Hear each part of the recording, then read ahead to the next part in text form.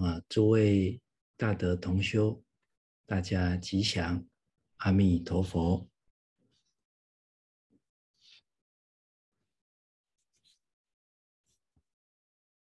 啊，首先啊，要跟大家致歉一下啊，我们这个上课时间呢，啊，又做了一下调整。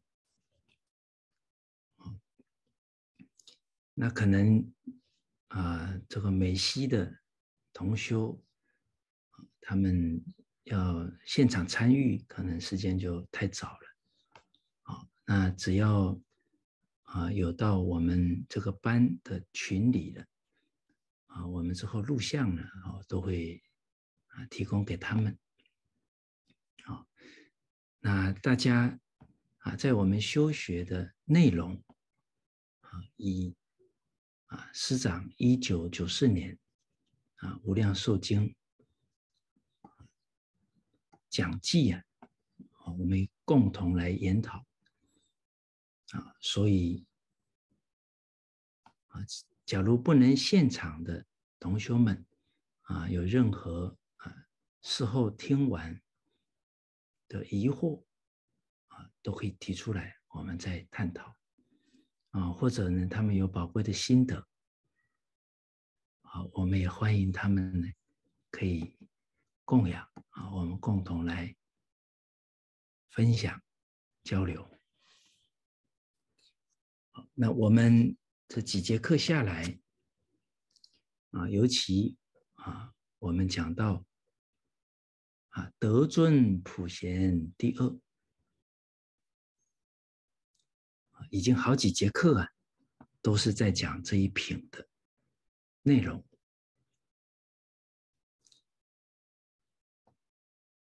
而我们佛门啊，有一句话说到啊：“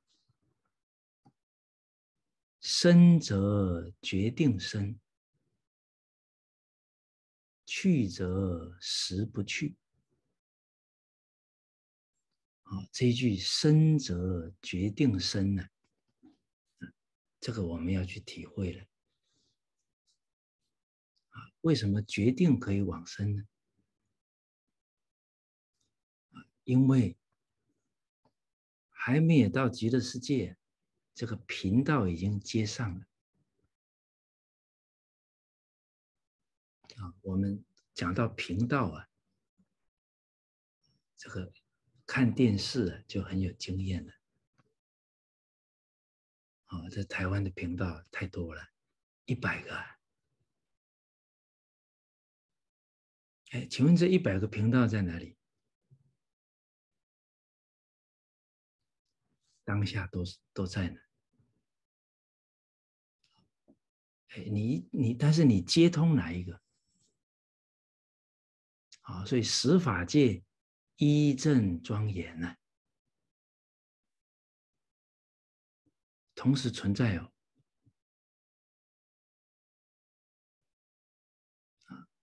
啊！可是我们呢的心跟哪个法界相应，哎，那个法界就现前了。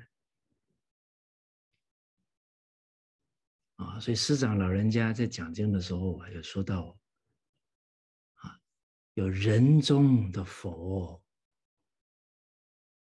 啊，有人中的菩萨。哎，十法界一正庄严呢，在一个法界里面就有十个法界还有人中的畜生、恶鬼、地狱哦。啊，会观察的人啊，观察谁？观察自己。观察他人，啊，当然观察他人的目的啊，不是去见人家过，啊，是了解他的情况啊，进一步怎么去帮助他。你不了解他的情况，会不会越帮越忙啊？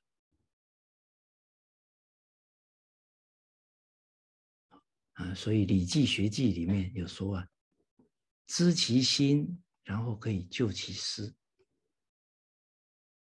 他心是什么状态？他偏颇在哪，我们都很清楚啊，才能循循善诱，顺势而为，去引导他。他偏在哪，我们自己都看不清楚，那怎么去护念他？啊，就像我们自己当父母的，孩子在想什么，我们知不知道？那假如我们不知道他想什么，我们每天给他的教导，气他的机吗？啊，就像我们上一节课才讨论到的，打众生相啊，你不了解他在想什么，你你怎么跟他讲契机的话呢？哎，我们这样研讨下来啊，真的感觉佛经与生呢，当信佛经与生呢。啊，我们这个研讨《无量寿经》的这些教诲、经句啊，啊，真的不是像看连续剧啊，啊，一集赶一集啊，啊，不是看小说啊，啊，一直追啊。追到最后看完，完了啥也不记得。学一句，就有一句的受用，而且这个受用会越来越深，越来越广。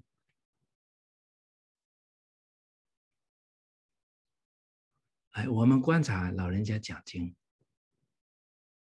哎，《无量寿经》啊，本来啊，就像九四年这一次。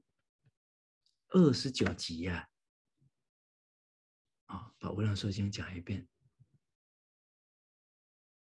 那我们观察，九四年讲了二十九集，到了二十多年之后呢，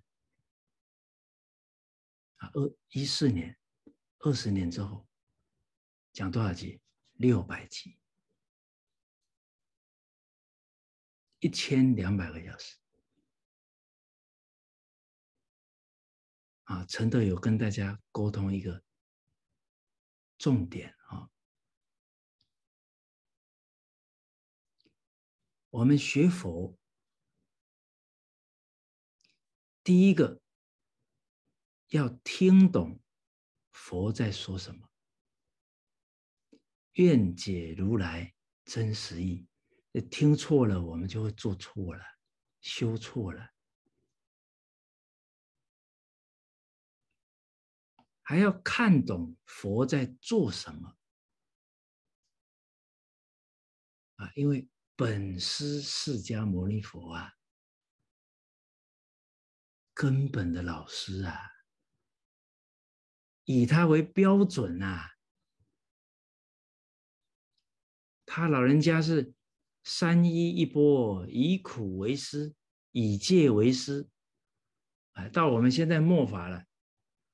哎呀，我们买的椅子啊，要高级一点啊，人家看了之后啊，就不轻视我们了，啊，就会觉得哇，我们很有钱，啊，很尊重我们。这种说法跟佛的表法不一样，他都会有一套道理哦，让你觉得嗯，好像有点道理。还是要依佛所说所做为标准，不然啊，啊一代人加一点加一点，加到最后就不是原味了，甚至面目全非啊！我们现在佛门很多乱象啊，那都没有依照佛的所做所说做了。现在到末法了，邪师说法如恒河沙啊，而而且很可能这个邪师是打着佛教的名号啊，啊，所以佛在世的时候很感叹呢。魔王说的，哎，你现在法那么强，我破坏不了，等你末法。啊！我遣我的魔子魔孙穿着你的袈裟破你的法。啊，佛听了流眼泪啊！佛是慈悲啊，怜悯这个魔王的愚痴啊，怜悯众生呢，善根不够啊。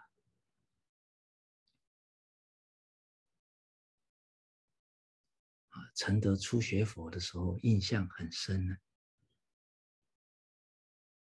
老法师常常说：“现在的人听骗不听劝呢，认假不认真呢。现在感觉跟二十多年前听不一样。”二十多年前听，觉得哦这样吗？二十多年之后，看看自己，看看佛弟子，修行的人，真的要认真呢，不容易啊！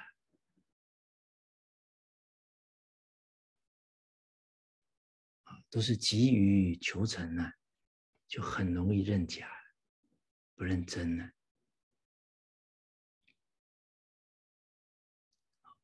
都很容易啊，随顺我们没有学佛以前的想法、看法、说法、做法，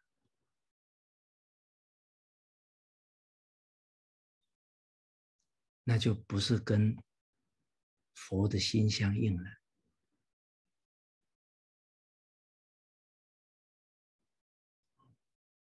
佛的心是真心啊，没有分别，没有执着。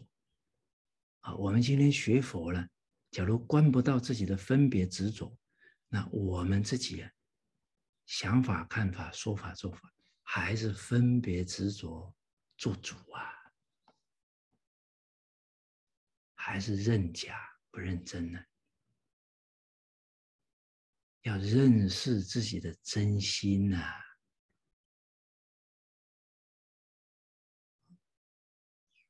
不能再随顺。忘心了，不能再认贼作子了，认贼作父了，啊，认自己的烦恼习气做亲生儿子、亲生父亲，那我们就愚痴了，啊，所以师长善巧方便。提醒我们怎么认识真心呢？真诚、清净、平等、正觉、慈悲。我们的心要跟五心相应，不跟五行相应了，那就搞得认假不认真了。这是从心上啊，要认真，不能认假；事项上啊，我们功利心很强啊，就会跟那邪思相应哎，你跟我很快就能怎么样了？啊，我们的心就动了。为什么？相应了，急于求成，不可能。老实下功夫啊！还在那耍小聪明了哎，有没有捷径可以走啊？啊，我们真的要冷静下来。为什么要冷静下来呢？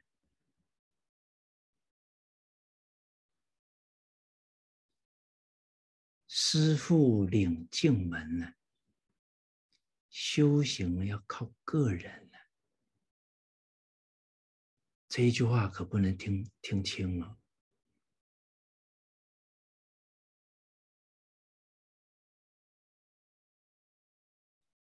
万法因缘所生啊，对于我们这一生的道业来讲，因是谁啊？自己呀。佛菩萨、老法师、善知识同参道友是助缘，自己要负责任啊，要扛起来啊。所以修行人，假如依赖心很重啊，要进步很难。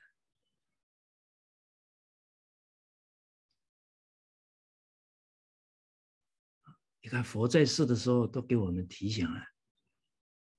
阿难尊者为什么不能证阿罗汉？因为他的心念里面还有一个，我的堂哥是佛陀啊，他还有那个靠别人的心呢，他证不了阿罗汉果他情感还很重啊，所以佛宣布要灭度了，他在那哭啊，因为他的私货还没有断尽啊。你要靠想依靠什么贪呢？贪求啊！佛法是内学啊，不能向外贪求依靠，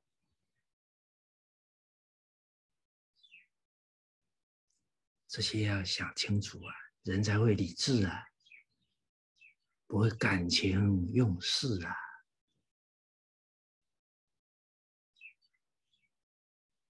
所以，为什么修行靠个人？因为别人都是助缘，这个缘能起到多大的作用，都是自己决定的。老法师讲的，我句句放在心上，啊，不得了，这个人得大受用啊！啊，老法师讲的，我左耳进右耳出，不止得不到利益。自己很大的福报折损掉了，哎，任何事都不是偶然的呢。能遇到老法师，这福报很大。可是，假如我们人在福中不知福，这个福就折损掉了。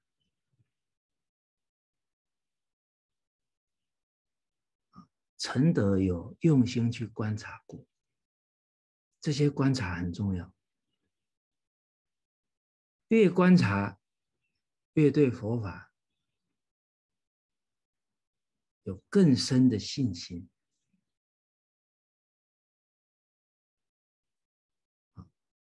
啊，比方说，陈德观察什么？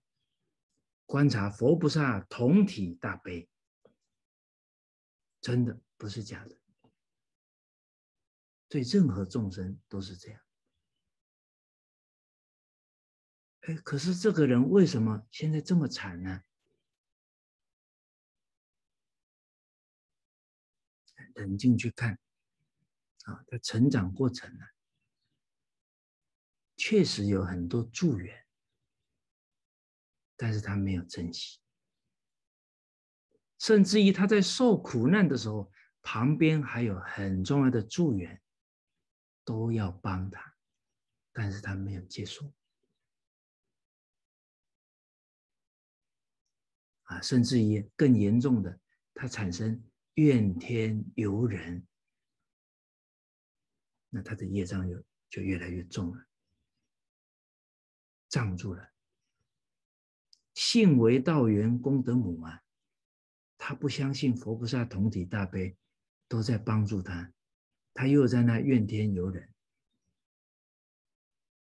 那这个业障就越来越重了，那佛菩萨加持不上了，其实就好像一个人青少年时期，啊，哎，埋怨父母了，埋怨社会了，他的业障就现前了，身边有很慈悲。很有智慧的长辈给他讲，他他不听了，那也没办法，他得摔个跟头了。所以就像太阳光随时都在啊，可是我们撑了一只黑伞呢，这光进不来。哎，说到这里了，哎，我们拉回来到自己身上了。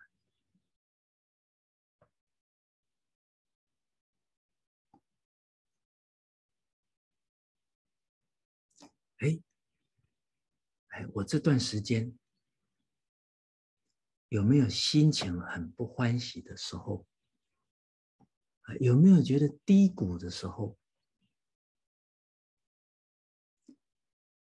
这个都要自己关照。所以为什么叫修行靠个人？师傅领进门，说实实在在啊，我自己啊，也常常告诉自己啊。老法师啊，讲的很圆满，讲经六十多年，该讲的他老人家都讲了，而且他还表演的很圆满。啊，我们读《无量寿经》，读《华严经》，不自觉的都会连到他老人家一生的行持。心大悲，名有情，眼慈变，受法眼。这个未度有情，令得度；以度之者，使成佛。哎，无量寿经哪一句？你只要用心去观察他老人家，他老人家全给我们表演了。啊，纵使生子诸苦中。如是愿行，永不退。哇，那老人家遇的磨难太大了。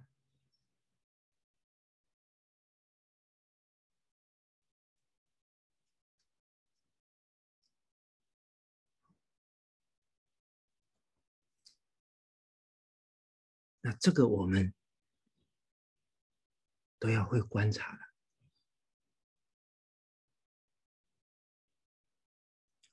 那修行靠个人呢，因为再好的老师，他是个助缘啊。比方说，我们遇到依赖的人，他你可不可以现在找一个人帮我把这些问题解决？我就跟他说了，我说佛菩萨同体大悲啊，你相不相信啊？他说：“相信啊。”我说：“他假如能帮你解决了，那他不解决，那他就不慈悲了。”对呀，他告诉我们一个真相啊：宇宙怎么来的？从心想生呢。眼前这些境缘，是我们自己的心现事变了。这个他帮不上忙了，我们是自编自导自演啊，他只能帮助我们把宇宙人生真相讲清楚，然后我们愿意听了，我们一调我们的心，哇，境界变了，依报随着正报转了，你越依赖，你越偏，那佛菩萨慈悲啊，你越偏了。那他干脆先消失了，不让你继续偏了，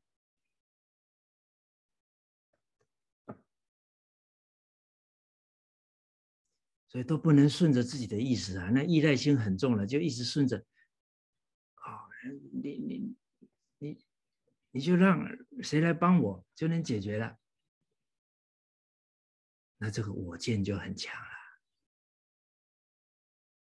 你看，我们真正遇到事的时候啊，要问问自己的，是不是提起来师长老人家的教诲啊？这修行靠个人啊，提起来了就受用了，提不起来又是随顺烦恼习气了，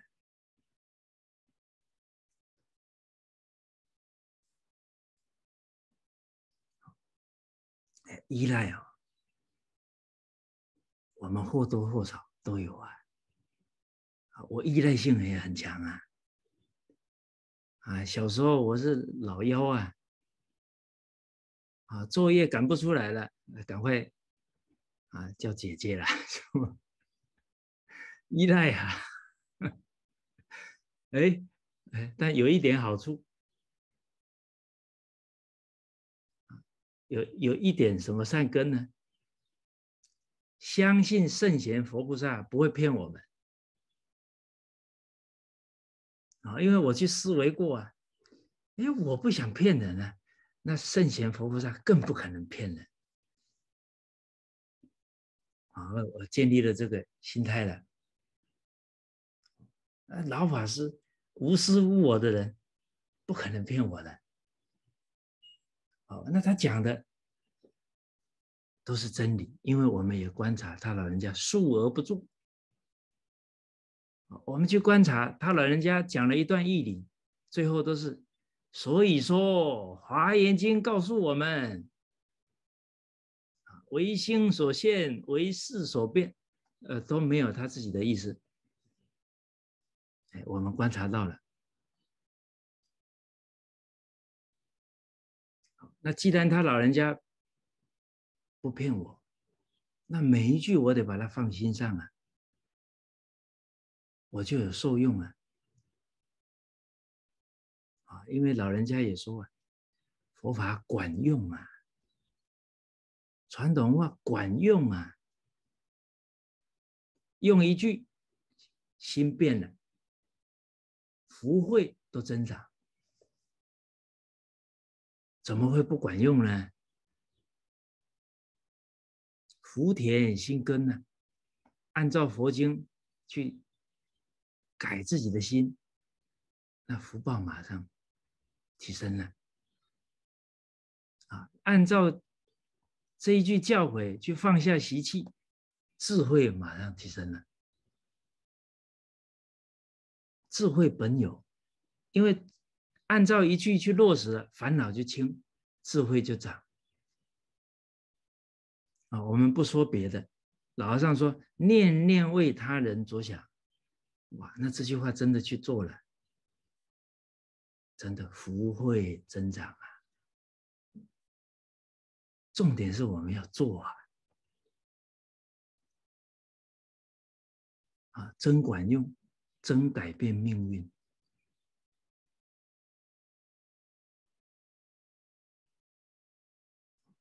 那尤其呀。老法师的一句法很重要，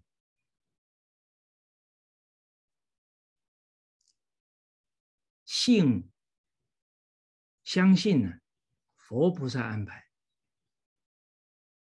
啊，一切都是佛菩萨安排，自己不操心。其实这个信字重要，信为道源功德母啊。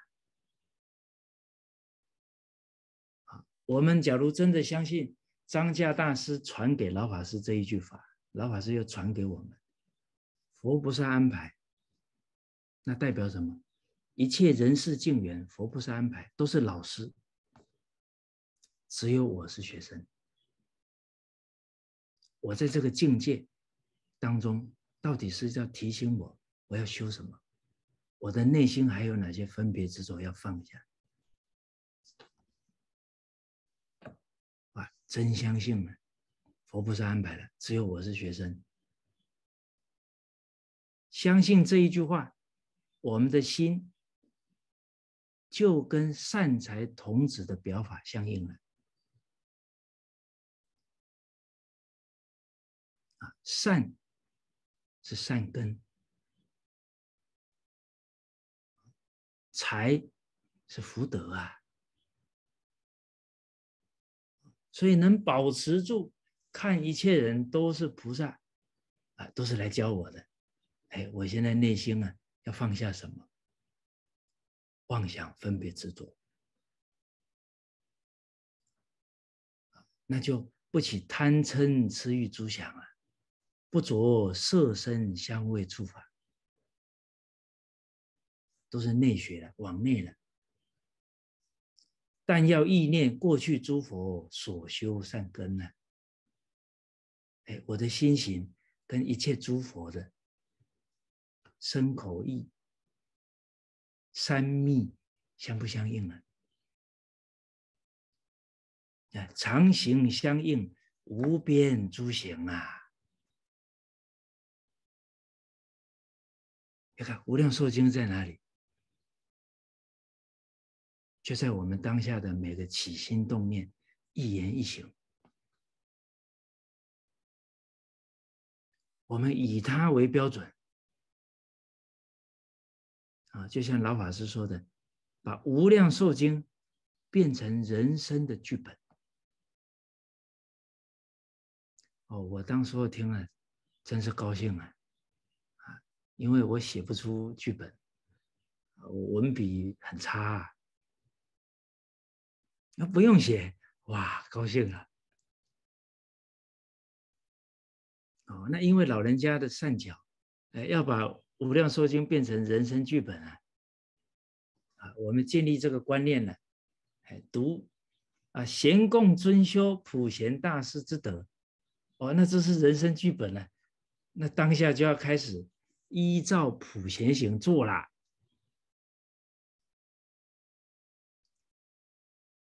哎，普贤行就是生活，就是工作。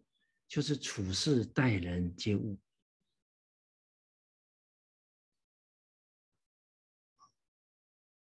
所以这么去做了，就受用了。越受用，对老师越感恩。好，我们看那老法师每一次提到三个老师，感恩呐，啊，我受用了，过上人生最高的享受了。是老师给我的教诲。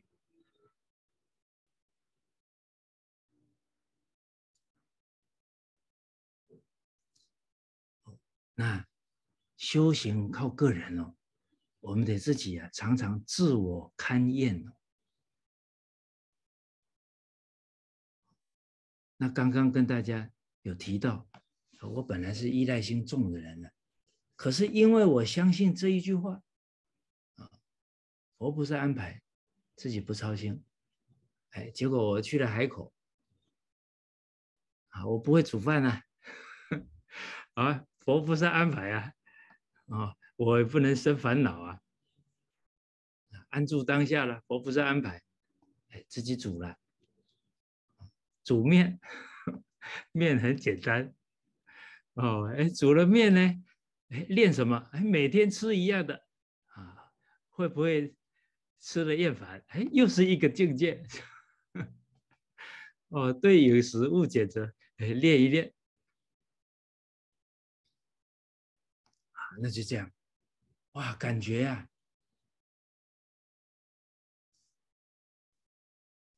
每一段呢，路途啊，都在练自己的比较短板的地方。或者是自己的习气，啊，练的你非放下不可，啊，练的你非突破不可，啊，我本来的性格啊，好，这个佛门有讲啊，跟母亲的原生呢转男生，跟父亲的原生呢。转女生，一切都有因果的哦。我们这一生是男生女生都有前因的哦。好，所以往往啊哈，当然还有后天的这些因缘分的影响啊，不然一般来讲啊，女儿的性格会比较像父亲，儿子的性格比较像母亲。我们家就特别明显了，然后呢，那我母亲一辈子没有发过脾气啊，啊，没有跟人家讲一句硬的话，啊，人家一凶了，他一句话都不讲了，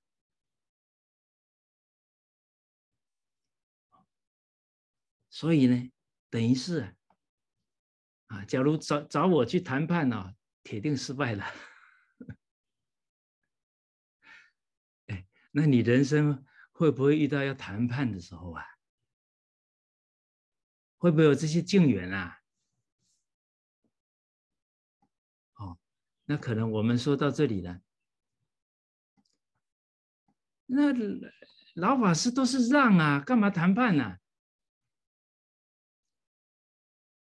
哦，那这个要注意了啊！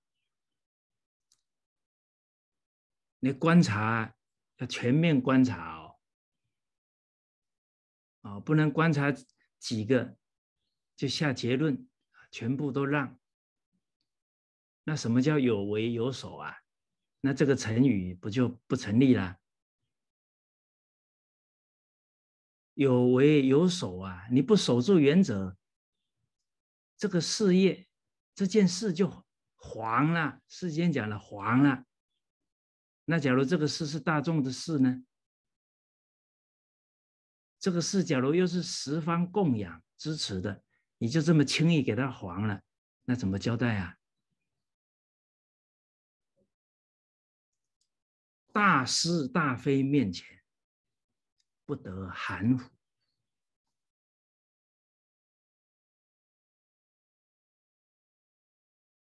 这个大家都要会观察。好，我们看老人家，台湾努力了三十多年。这韩馆长走了，按照法律来讲，啊，是他的儿子继承。老人家为什么让？这是自家人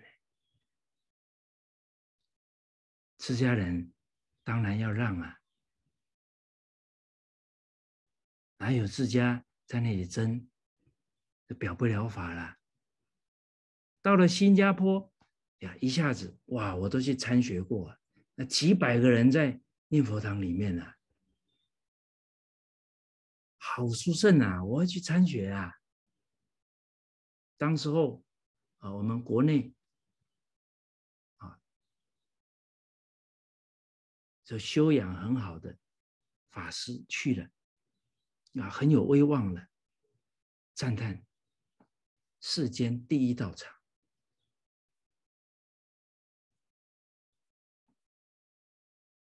真的，那时候我们进去念佛，那都是感觉那磁场好强哦。但是因缘要保持啊，不容易啊。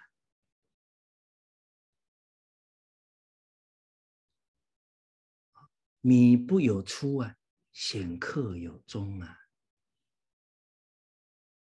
都会有很好的开始啊，但是要有很好的结束啊，就不多了。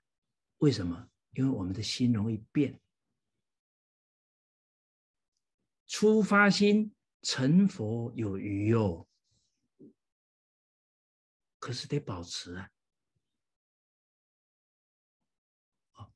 当我们啊团体哇很殊胜啊，赞叹恭维都会来啊。假如是主事的人没有八风吹不动，那这个缘就要变化了。所以不简单，不简单呐！古代为什么一个道场可以兴盛几百年？为什么？大家都要会去观察因缘，万法因缘生哦。这一句佛法在哪？在一切处哦。观察的清楚。观察的出来就学到了，观察不出来，你经历的事再多，还是不长见识，还是懵懵懂懂。经一事要长一智啊！我们心里有没有一些深刻的教训？后不再造了。这些呀，都得自己下功夫哦。啊，我们同样经历一件事，每个人的受用不一定一样，这个大家也要会去观察。我们同样遇见遇见一件事，哎，有人快速提升了，有人成熟了，哎，有人哎信心呢受影响了。你看，有人提升，有人堕落下去了。明明是同样一个缘呢，为什么是这个结果？就是我们刚刚说的，修行靠个人呐。会修的人，处处是道场；不会修的人，最殊胜的缘，他也当面错过了。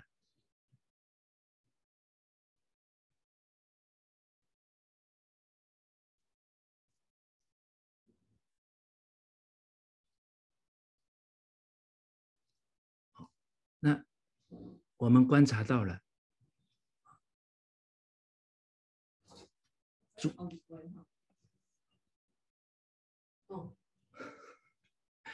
好，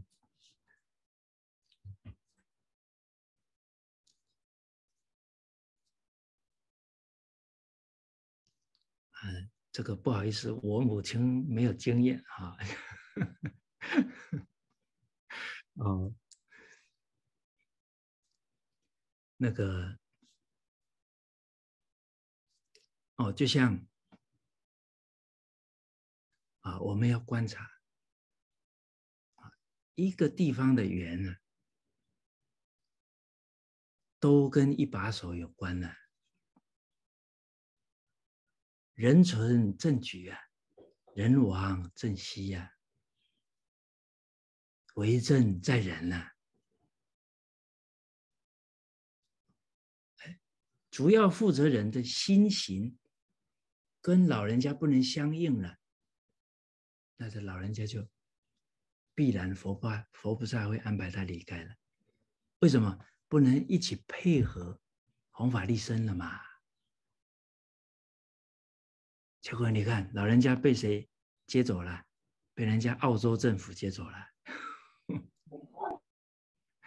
为什么澳洲政府可以接走？心量相应啊！啊，他看到老人家可以哇，团结不同种族宗教啊，我们澳洲这个社会很需要啊，把他老人家接去了，啊，给他快速办好证件啊，移民部长 给他送来，哦，我说这个澳洲政府厉害了，人家落实群书之要，尊贤呢，啊，不止不嫉妒他，重用他。把他派去参加联合国的会议，哎，让老人家的思想可以利益全世界，相应很重要啊！啊，我们的心行要跟佛菩萨的教导相应啊，同样的弘护啊要相应啊，在家里。夫妻要相应啊，配合啊，这理都是一样，都相通的，所以大家都要会观察哦，不会观察就打迷糊仗了。哎呀，姻缘都不能长久的了，你要变成消极了，那不会观察变成消极了，要会观察。因缘要胜于死，因缘要找志同道合，道不同不相为谋。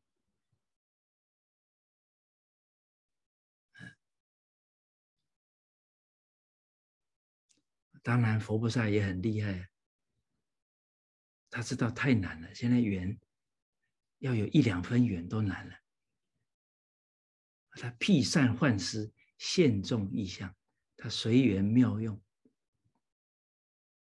啊，哎，哎，利用一个缘，哎，大家都成长了，哪怕这个缘不能保持了，哎，下一个缘出现了，因为大家都成长了，哎，再一起到另外一个缘，啊，让它更殊胜，因为末法时期呀。不简单，不简单了。但是更重要的，我们每一个人要在境界当中不断提升，好，而且福福报要越来越大。因为我们福报大了，可以给大家想啊，“安得广厦千万间呢？”啊，大庇天下寒士。俱欢颜呢？啊，师长做到了哦。你看，我们现在全球晋中学会团体，谁的福报庇应的？他老人家，哎，一个人可以修到这么大福报啊！他老人家表演哦，那我们看到了，接下来呢，我也能做到。假如他老人家这么表演了，我们下一个念头，哎呀，老和尚不是普通人呐，他能做到，我们做不到了，哇，老师白表演了。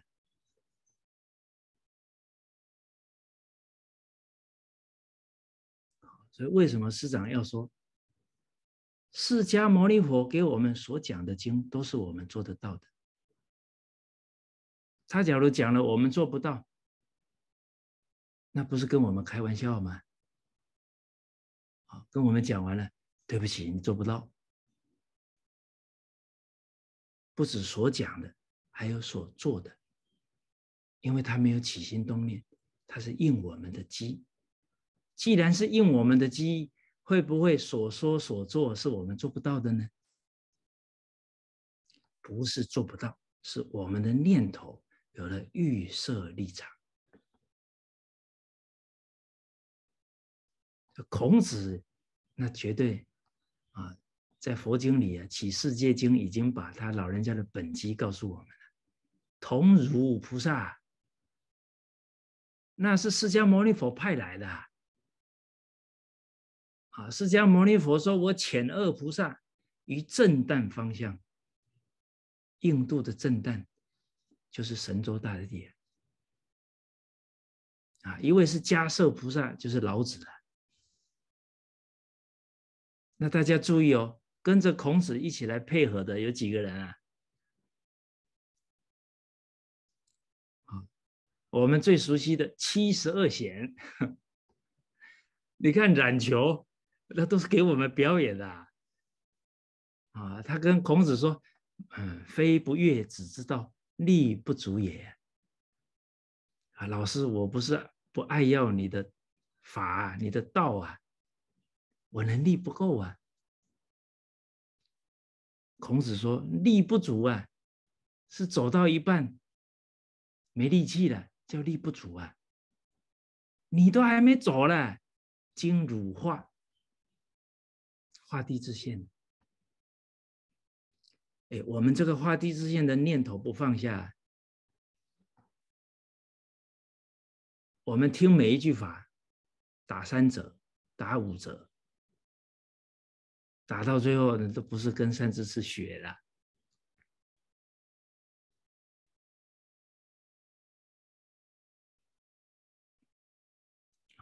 那我们看，哎，老人家每一个让，每一个离开，他都有他依循的经教。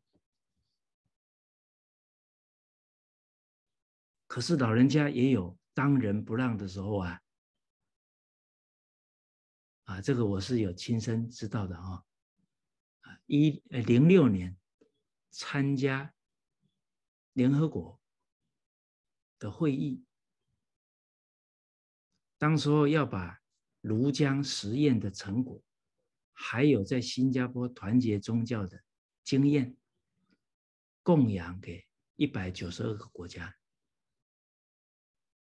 啊，当时候提到让九大宗教代表上台祈祷，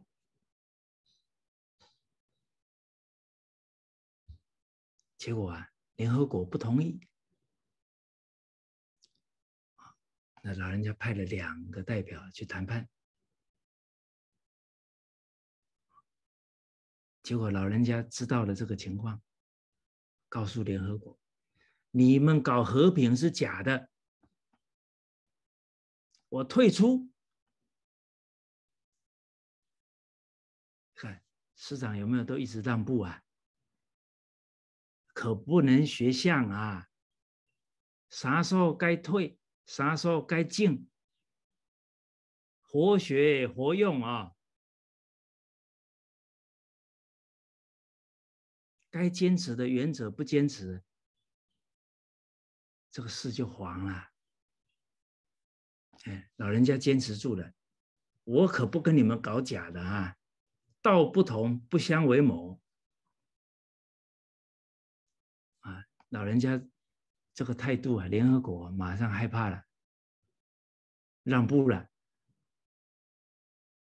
啊，这个事情很殊胜。本来说好像说上去。呃，十几分钟啊，后来祈祷了半超过半个小时，哦，结果呢，人家那个联合国的那个负责的进来一看，很高兴，还在那一直一直拍手，都是什么底下的人在那里揣测上意啊，然后在那里，很可能人家那个一把手并没有反对啊。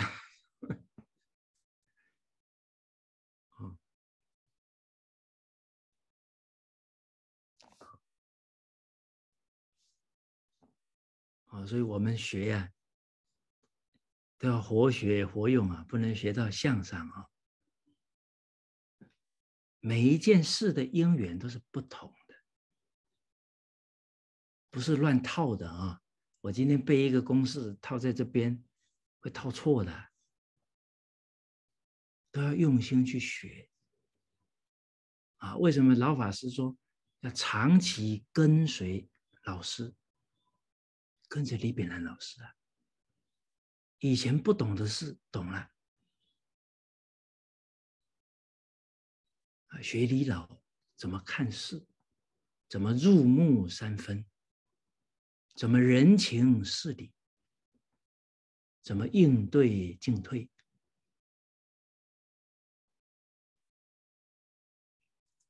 这个不是说讲一堂课就全学会了，这个。不是记问的东西啊！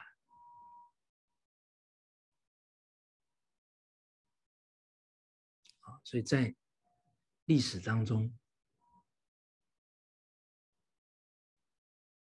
啊，汉朝有一位宰相叫丙吉，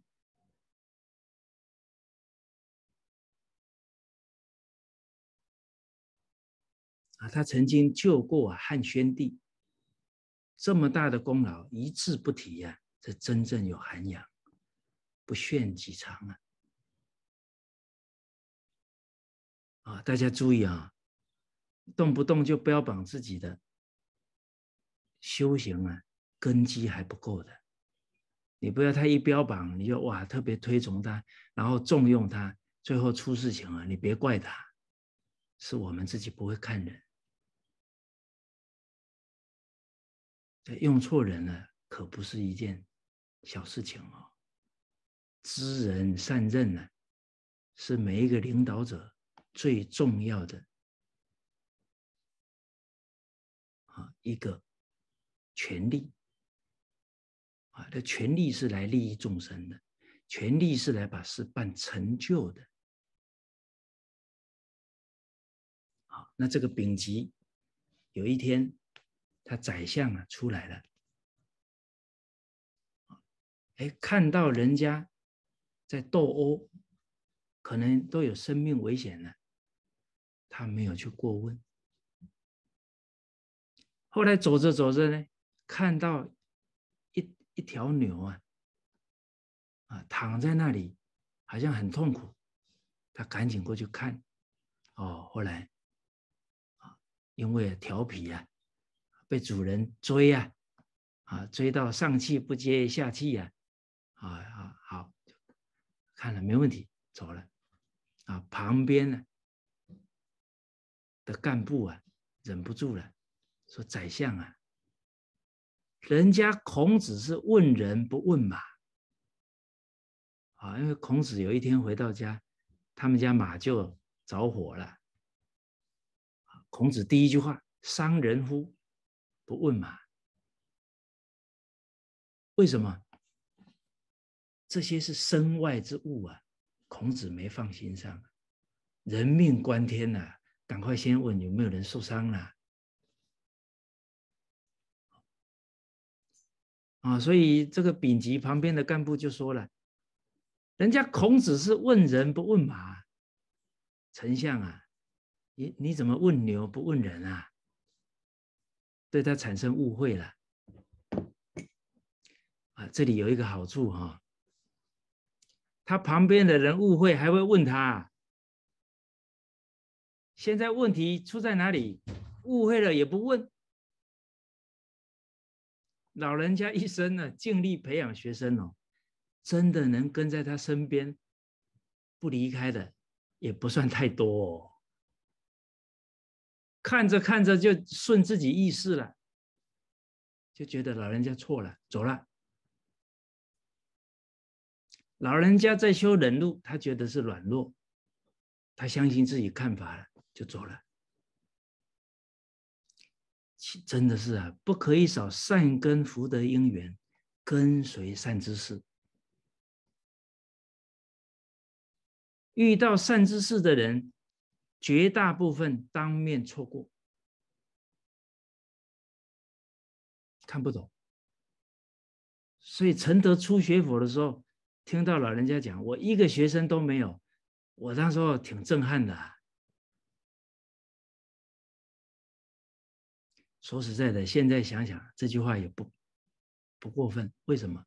现在要找一个孝子都难啊！不是孝子，不可能是好学生。师道建立在孝道的基础上，我们的自私自利不能放下。我们要真正成为一个孝子。不大可能，想自己多了，体恤父母的就少了。好，我们看古人，孝子心中啊，只有父母啊，他有这一份心啊，他一遇到他信任的老师啊。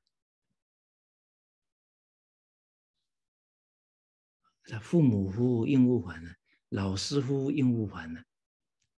他百分之百相信，百分之百去落实，才得利益了。啊，就像老法师遇到李老师，给他开三个条件，啊，哎，他马上就接受了。啊，过了几个月，跟老师说：“哇，很有受用。”啊，还跟老师老师说，我再加五年。大家想一想啊，这个李炳南老师听到师长说再加五年了，内心的感受是什么？孺子可教也啊，是吧？欢喜呀！哎呀，能遇到一个传法的学生，高兴啊！你看，当时候老人家要出家，李炳南老师把师长送到火车站，流眼泪啊！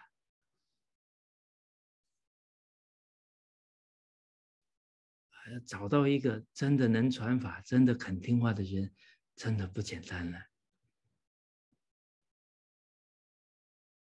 啊，你看师长很重情义啊！啊，看着老人家流泪。内心暗暗发誓、发愿，我一定再回来跟满老师十年。大家注意哦，不止跟满十年哦，出来弘法立身呢。啊，比方说到美国弘法、加拿大弘法，每一次要出去要跟老师汇报，每一次回来也跟老师汇报，为什么？老师清楚我的情况他才好指导我啊。师傅这些话都很重要啊。啊我们有同参道友大家一起切磋。我们真实的情况拿出来大家切磋了我们才能受用啊。我们都闷葫芦，人家也不知道我们什么情况，那怎么护念呢？好，所以修行还是要改性格啊。啊，大家有没有听过哪一尊菩萨有性格啊？没听过吧？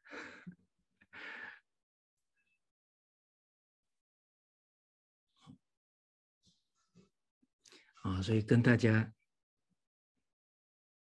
啊提到啊，这个学呀不能学到相上啊，所以这个丙级的干部啊提出来了。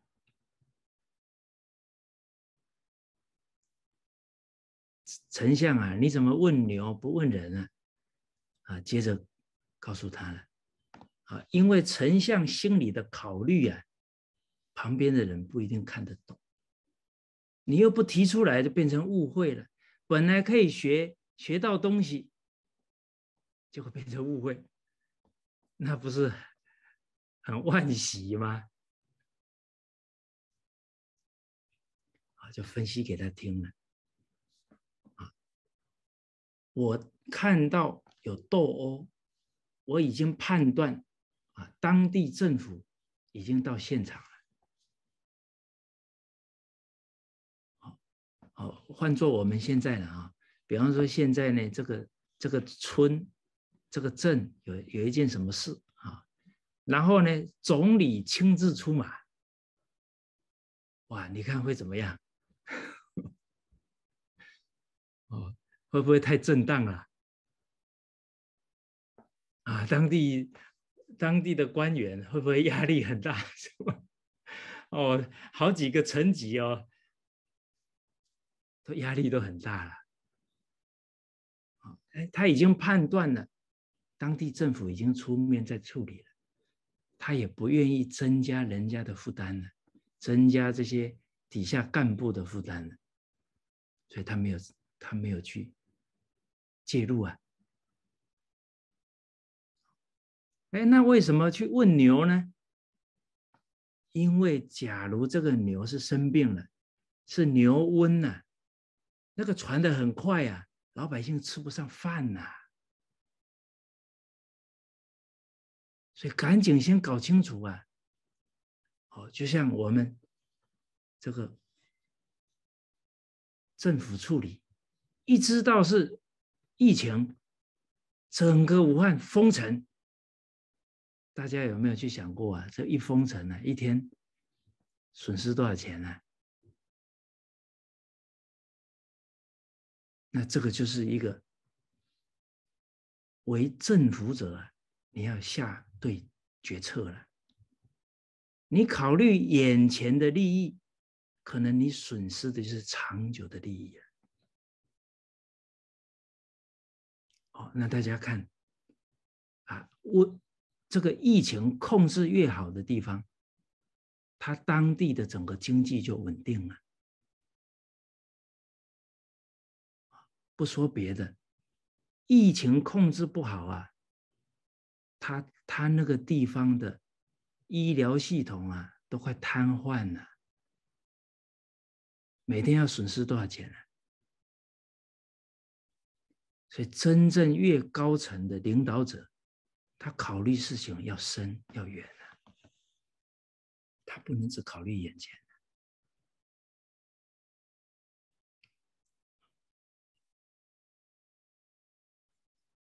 所以不能看一百年了，不能做宰相哦。结果现在麻烦了，啊，民主制度。一任多少年？四年。请问他会考虑多远？那下一代必须承受后果的，他考不考虑啊？所以大家有没有看到，短短几十年呢？这个地球被我们搞到好多地方不能住人了，好多野生动物都濒临绝种，这都是转世尽力呀，见利忘义造成的结果。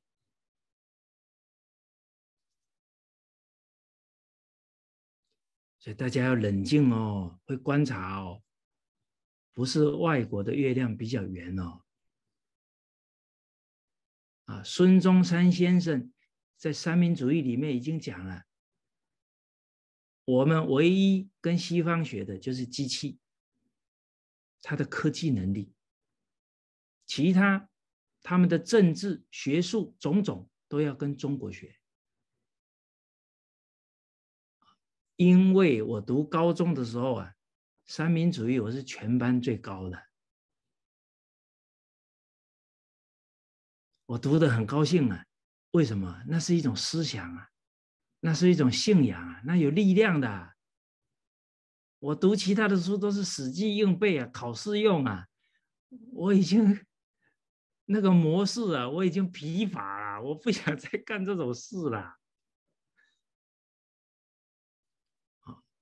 所以我三民主义考的全班最高，但其他科目就不好了。啊，所以后来大学考的不是很理想，啊，现在想一想也是佛菩萨安排，啊，不然我考的太理想啊，就到台北去了，啊，以我的功夫啊，铁定沉没在台北的花花世界里面，啊，我现在呀就不能跟你们一起交流无量寿经了，哦，塞翁失马。焉知非福啊！其实说实在的，念佛人呢，你一听念佛就高兴的，以诚供养诸如来啊！啊啊！若诸来世乃至正法灭时，当有众生啊，执众得本。以成供养无量诸佛，有比如来加威力故，能得如是广大法门。好，那这一句话你要再延伸哦。有比如来加威力故，不只是能得如是广大法门了。我们自己去回想，我们这几十年走过来啊。有没有一些关键点呢？我们刚好悬崖勒马拉回来了。我不知道你们有没有啊？我是有啊，那个都有佛菩萨在加持自己呀。所以真正体会到这些真相啊，感恩呐，要报恩呐。释迦牟尼佛生生世世随逐于我啊！啊，又有很多佛菩萨跟着他老人家来度我们了。我们不能再糟蹋他们的苦心了。啊，人念恩的心一起来啊，那个心就是菩提心了，他就很有动力了。他就愿意勇猛精进了。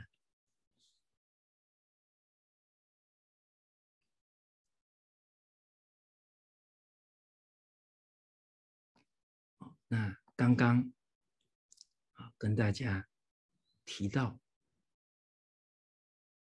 啊，十法界一正庄严，在人里面就有十个法界了。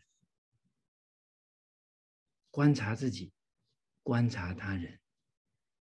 哎，我现在自己在哪个法界？啊，师长说的，能不能往生呢？不要问别人，啊，要问自己呀。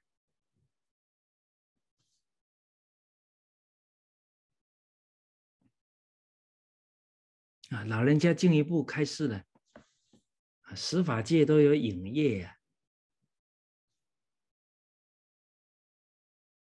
哎，贪心、恶鬼道；嗔恨心，地狱道；愚痴畜生道。我们常常说，啊，不要以人生呢行畜生的事情。人一不守礼了，礼是道德的底线了，一不守礼，那人做出来的行为，那就很可能连禽兽都不如了。你看，我们虎毒不食子啊，可是你看现在那么多年轻人去堕胎。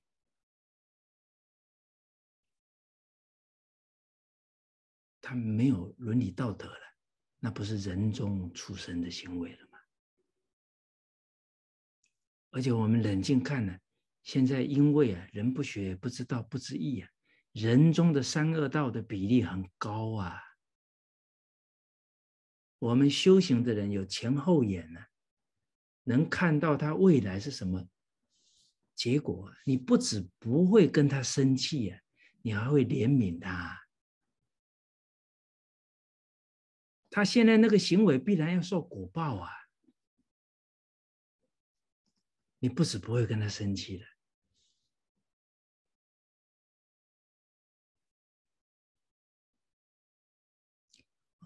所以悯人之凶啊，容人之过啊，可恶之人呢，必有可怜之处啊。他不止以前的成长可怜呢。他以后的去处啊，也很可怜，怎么办？我不能见死不救，我要见义勇为，我要为人演说。啊，他不孝，我演孝给他看。啊，他不替，他不忠，他不信，我演替忠信给他看。他没有廉耻。我演给他看，为什么？人之初，性本善。你真演出来了，触动他的善根，可能就是他转变的真上缘。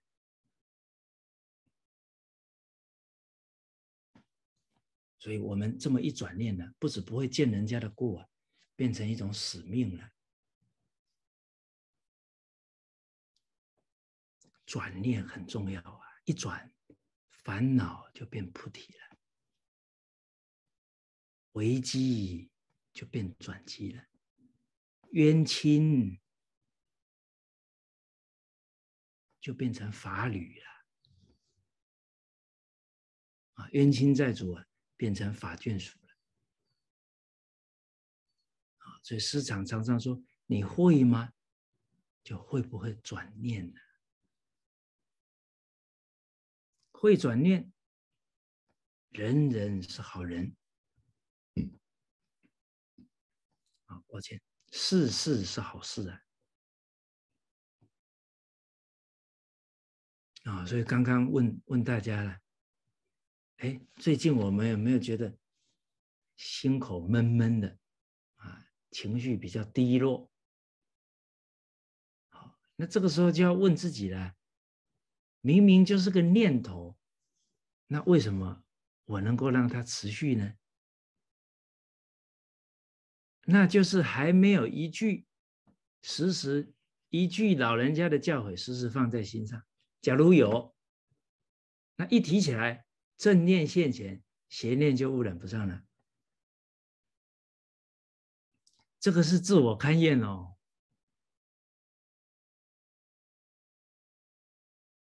哎，奇怪了，为什么这一句都入不了我的心呢？因为我的我见很强，遇到事的都是自己的想法看法做主，不是老人家的经教做主。再来还有什么？这个叫贱货，都自己看法。我觉得怎样怎样啊？啊，我觉得没用啊。这个我一定提不起来了，啊！我一定得让我伤心五天，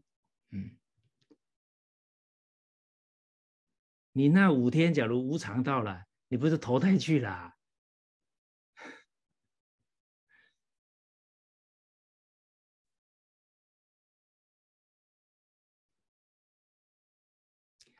常常把死字贴在额头上啊，马上就转念了。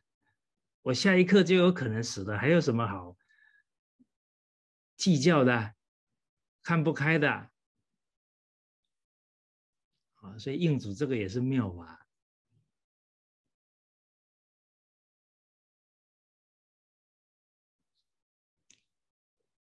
所以佛门修行，首先要对治见思烦恼啊，要放下自己的坚固的想法看法，放下自己呀的情绪感受。那个情绪感受一起来啊，真的佛菩萨的教诲十万八千里去了，一句也想不到了。啊，不能基迁于感情，不能基于义气，不能计较人我，不要跟人对立，不要沾顾得失。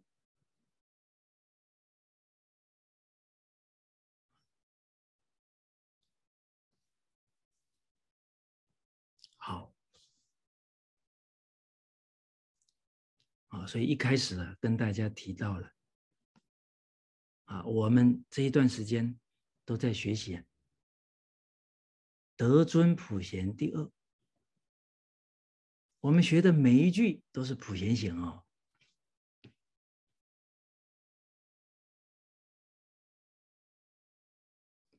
而刚刚我们一开始提到生则决定生呢，为什么决定生？因为平道接上去了，早就已经在那里了。啊，就好像莲池大师，他要往生的时候说了：“啊，我已经见到极乐世界几次了。”他平道接上了。他决定生了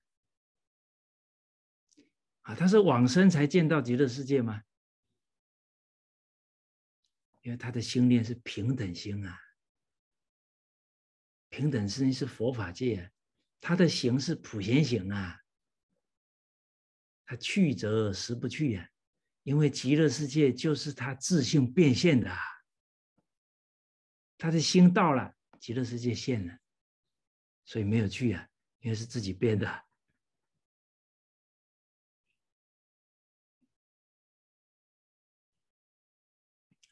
那我们几节课都在探讨啊，贤共尊修普贤大师之德了。哎，那修行靠个人呢，我们得自己勘验哦。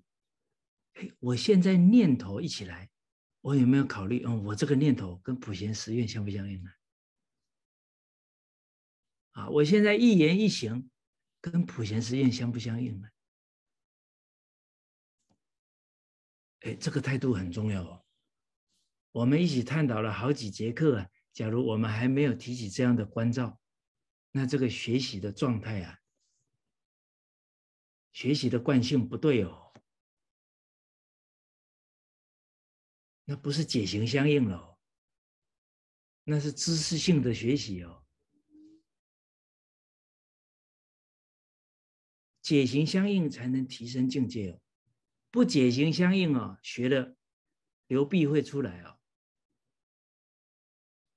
啊，不力行，但学文，只是听经，没有力行，长浮华。啊，我们佛弟子啊，长浮华的可能超过一半哦。我们常常见人过就长福法啊，万法因缘生啊！我们不护好自己的心念，这个是根本哦，因哦。不护好我们的心念，哎，佛法是很殊胜的真上缘。可是呢，我们不善用心啊，佛法把我们的傲慢提升了，那不是不是佛法的问题哦，是我们学了，但是没有关照到心念，哎，傲慢起来了。哎，以前没有懂那么多道理，还没那么多傲慢呢。现在懂这些道理了，更傲慢了。好，所以佛法是什么？是让我们放下贪嗔痴慢哦，不是贪嗔痴慢换对象哦。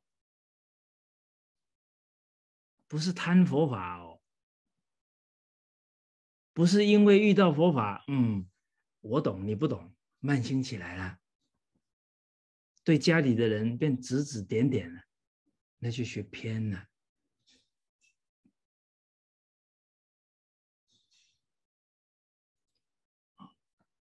所以我们现在学呀，不能走马看花，不能囫囵吞枣啊。学一句得问问自己，学透了没有？学明白了没有？用上没有？光是个学明白啊，就不能改连续剧哦。我们看看师长老人家，二十多年前，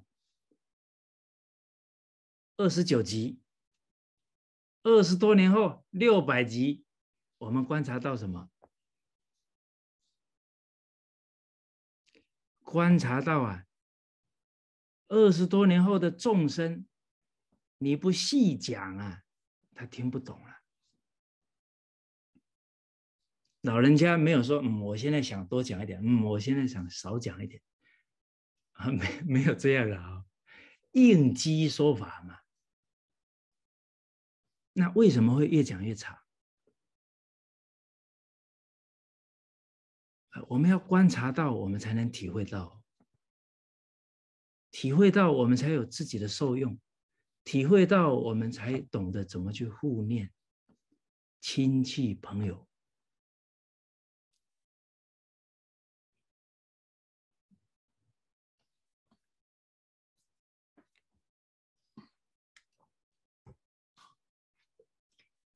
哦，当然哦，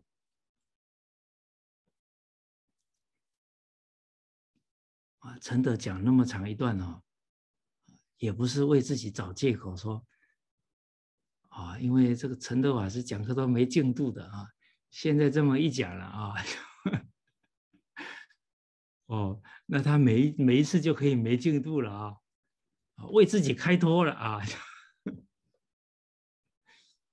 哦。当然了，我我没有说我一定要怎么讲啊。假如呢，啊，大家提出抗议，那我还是会尽量啊，啊，这个一次讲一集。哦，假如大家没有提出抗议，好，那啊，依照陈德现在的理解啊，每一句不深入讲啊，我们很难受用。好好，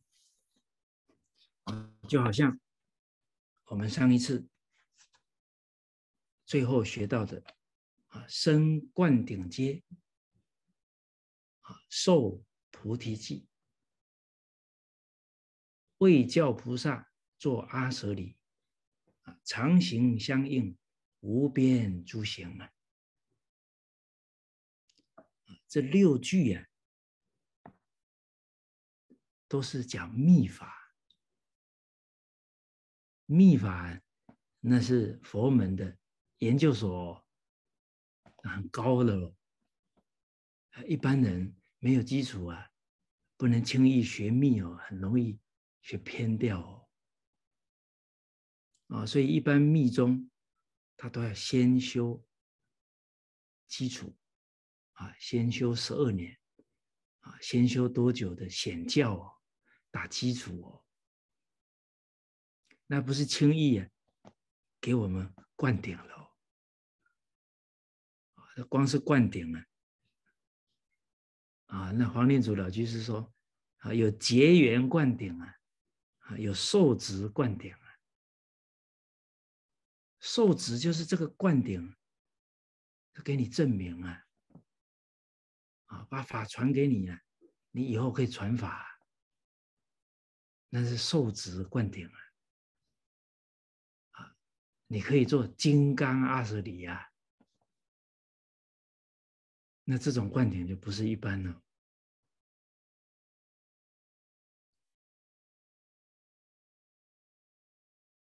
可是我们这一部经啊，很特殊哦，密教显说。我们看这一句佛号阿弥陀佛，一个阿字出生一切陀罗尼，哎，一切陀罗尼在出出生一切诸佛啊，所以这这一句佛号也是深。深密深咒啊，无上深妙禅哦。可是理很深呢，啊，通中通教啊，才能对这个万德洪明啊了解透彻哦。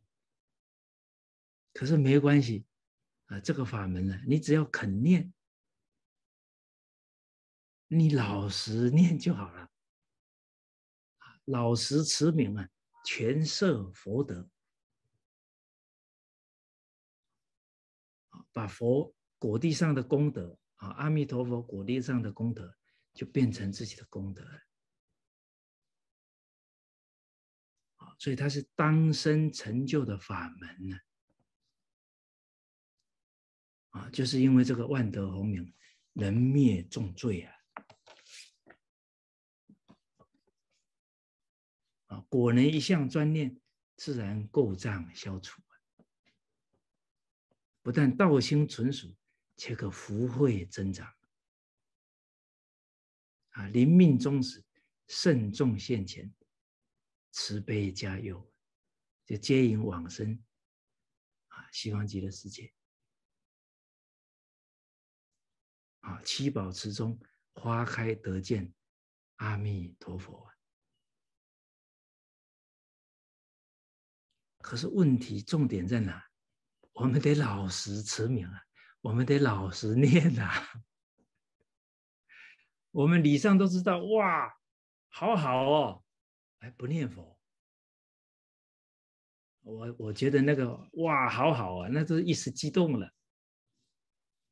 那不是真的知道它好到什么程度了，知道它好到什么程度，世间的东西呀，没味道了。四味哪有法味浓啊？啊，所以好像之前有跟大家比喻啊，极乐世界是黄金啊，娑婆世界是什么？哦，米田共啊。哦，这个学简简体字可能就不知道我在说什么了哈。哦，正体字啊。哎，这个比喻是一点都不夸张吧？那我们还起那个留恋这个娑婆的念头，那不是去去拿那个米田共吗？臭了自己一身呢？为什么？你一碰五欲六尘，你一碰，马上生烦恼啊！这个烦恼就污染你纯净纯善的心了啊！贤护等十六正事啊，要护好自己的心呐，不怕念慈，只怕觉慈啊！赶紧提提起阿弥陀佛啊！赶紧提起相应的经句啊！要跟哪个人对立了，马上。于诸众生视若自己，你那个态态度就下去了啊！哎，讲着讲着，火快上来了，和言爱语，劝喻车经啊！哎，那个态度啊，就下去了。好，啊，就哎。这个我们家老菩萨来提醒我了啊！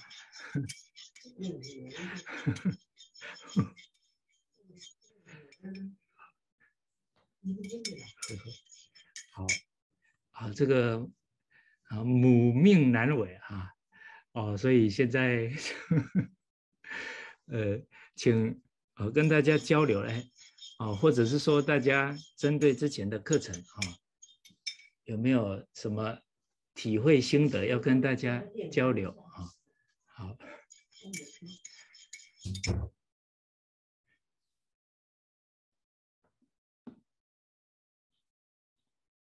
好，哎，你们不举手，我就没不能喝了。那个报告法师，要不您休息一会儿，然后我们那个 你是要那个稍微喝点吃点嘛？然后我们可以那个可以听 哪一位分享啊？嗯。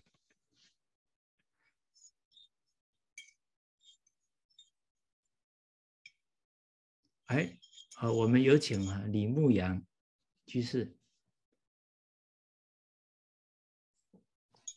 老师好，大家好，阿弥陀佛。嗯，我为了让承德法师能够啊安心的去喝这个这杯，哎，母亲的爱，然后那那学生就嗯分享一个之前学生做过的一个梦吧。就是学生有一天做了一个梦，就是我的梦里的天都是乌云，很厚很厚的乌云。然后呢，但是在这个在那个那片乌云当中有一块儿，呃，是非常非常蓝的天，就出现了一块儿。然后呢，在那块蓝天当中呢。有紫色的光，还有白色的光。然后啊，学生呢就走进了那个，好像是一一间寺庙。然后屋里呢有两个法师，我呢就呃 不自觉的就向一个法师呢跪拜。然后呢，梦中的我，呃，告诉我。说这个是元婴法师，然后我我醒来之后我还想，我不认识元婴法师，元婴法师是谁？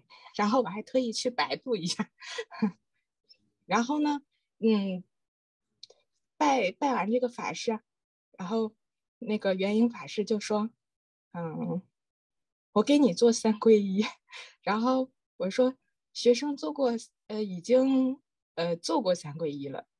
然后不不需要了，但是我醒来之后，我也不知道自己，因为我在高中时代，嗯，是父母带着我去做三皈依的，但是当时对三皈依是一点都，一点都不清楚，然后做做做的那个过程也是都不知道就是在念什么，就是但是得了一个皈依证，然后但是我我认为自己是做了三皈依。因为之前听，嗯，师傅上人讲，自己在家，其实我觉得这个心念要是对了，就是也是可以的，跟佛菩萨面前，就是也是，嗯，算是可以做三皈依的。然后呢，啊，在这个梦中呢，然后呢又进了另一个屋子，然后元婴法师呢手里拿了一串珠子，呃。珠子是五颜六色的，然后就像是对学生出了一个考题一样，那串珠子突然全部散掉了，然后都落在了地上。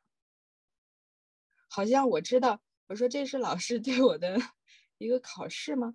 然后我说，呃，我就说，呃，我这个这个我可以做，就是我可以在地上，呃，把那个把法师的那串珠子。全部给他找出来，然后我就发现地上全部都是珠子，呃，各种颜色的珠子。然后我就想，嗯，我最擅长找茬了，就是有一款之前学生玩过的那种游戏，就是那种呃配对儿吧。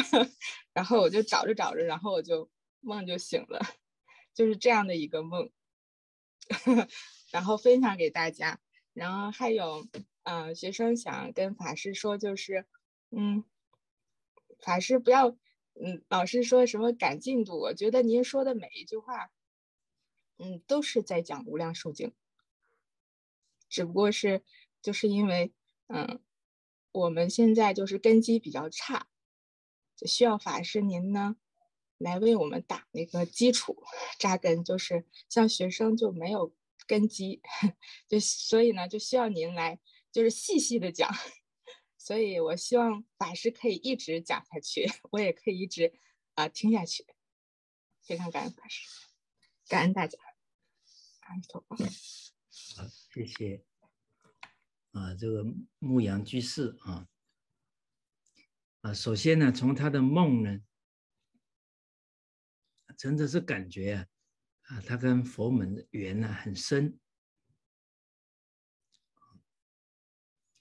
哎，常常就是常常能梦到出家人呢，这个也不是偶然的，好像承德就比较少 能梦到出家人，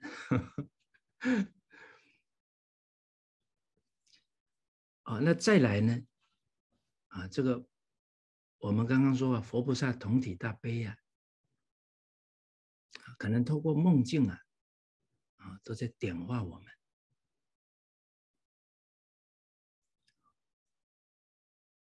佛门呢，重实质，不重形式啊，所以可能这个元音法师啊，他在提醒，你呢？重视实质的三皈依，不能重视形式的三皈依。好，所以老人家啊，师长特别对三皈依有开示。好，有这个注释三宝，啊，有自性三宝。啊，所以这个皈依啊，从整个形式上啊，皈依佛法僧，哎，进一步再深入皈依觉正境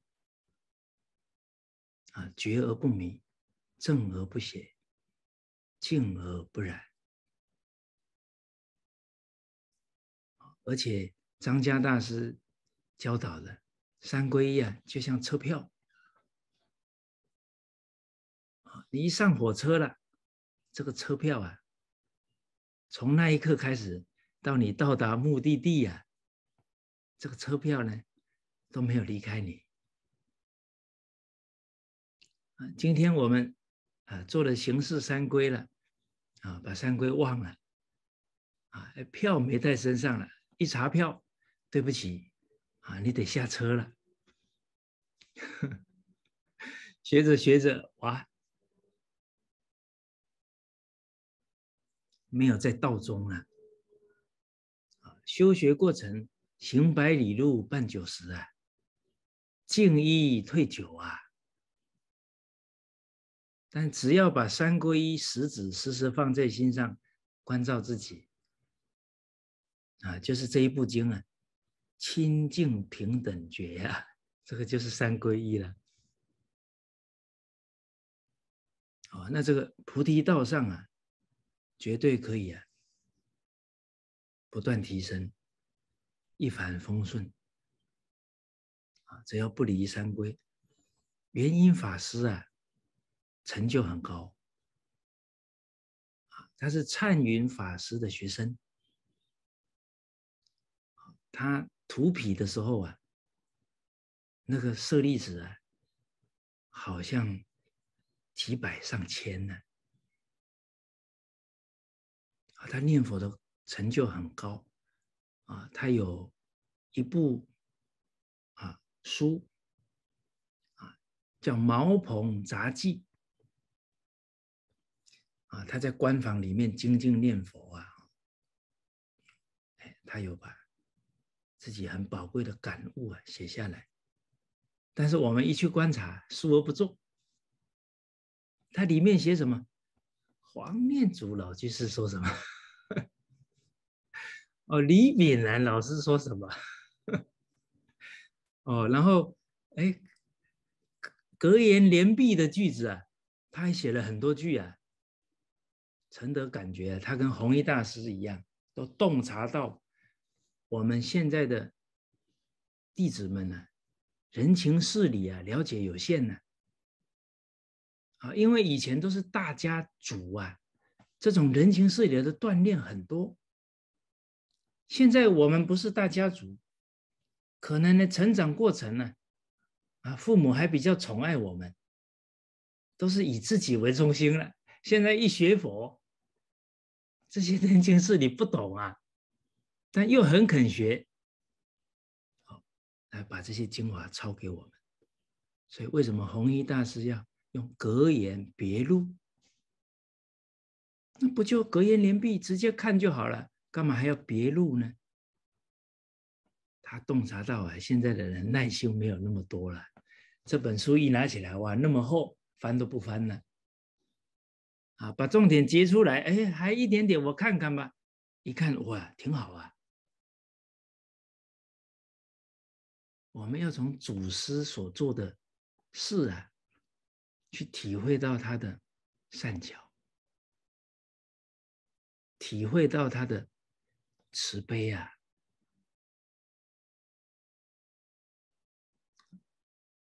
夏莲居老居士为什么要编静修解要啊？也是对我们的慈悲啊！知道我们现在人生活不易啊，家庭工作责任那么重，相对修行的时间少了。啊，把五经一论的精华，再加上禅宗密宗的精髓，全部灌在这三十二拜，十五分钟可以做完，那不是方善巧方便到极处了？可是我们得看得懂啊，我们得珍惜呀，好好受持啊。我们一不珍惜了，这么这么难得的因缘，又当面错过了。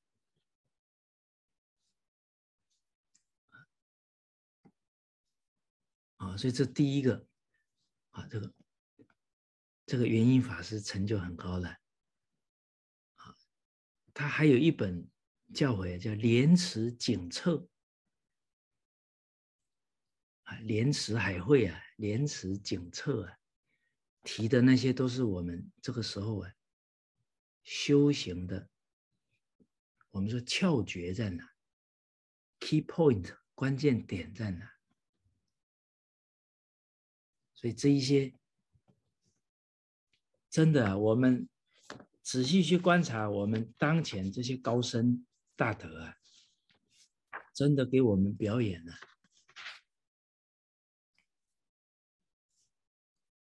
这个无量诸佛啊，咸共护念的。我们真发愿要求生净土，很多佛菩萨。都来护念我们这一句经文在哪？就在我们的当下，是我们自己会不会观察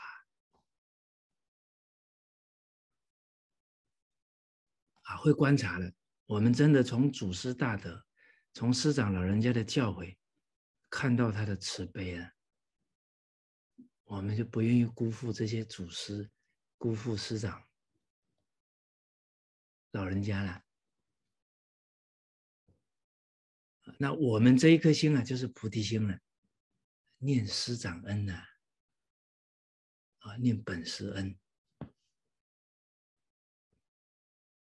真是善巧方便的，都到梦里来护持，啊，护持这个 牧羊居士啊。再来呢？第二，这个佛珠就代表要念佛啊，啊，佛珠散到地上去了，代表我们念佛的心念呢没有连续呀，散了。好，当然了，我是给你参考啊，可能实际情况不一定是这样哈。啊，所以呢，一念一弥陀啊。念念相串，即是佛啊。念佛重在啊，功夫啊要连贯呐，不能常常打妄念，把它给断了。哦，《华严经》呢说的如钻碎取火啊，啊，我们念佛，深深唤醒自己呀，弘明正章自性啊。啊！结果我们念几声了，啊，哎，又又开始打妄想了，啊，就好像这个钻木取火，啊，钻钻两分钟啊，休息一下吧，啊，喝喝咖啡吧，啊，啊，就凉了，啊，再来凉了，要重新钻了。嗯，假如这样没有连贯懈怠，那猴年马月也转不出火来了。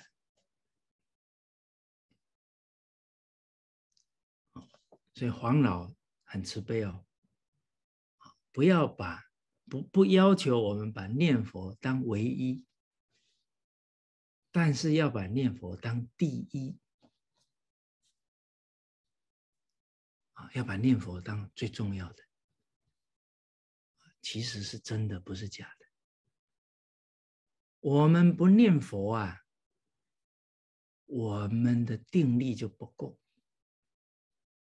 定力一不够，你去处理家里的事，还是处理工作的事，你就很容易就被转了。一被转，就是烦恼处理，家里的事啊不会减少，啊越不能减少，你越在那里无奈。但是根源是念佛念太少。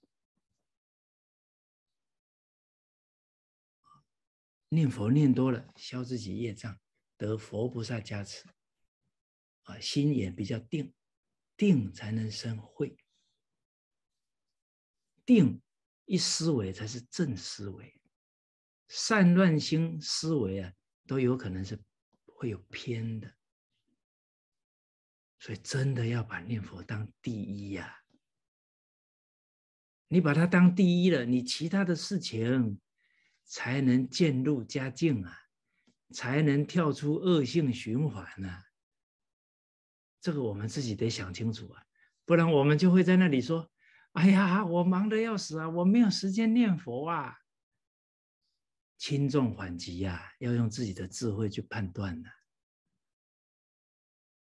但是我也不是那个意思，说你要拿大把的时间哦，你最起码。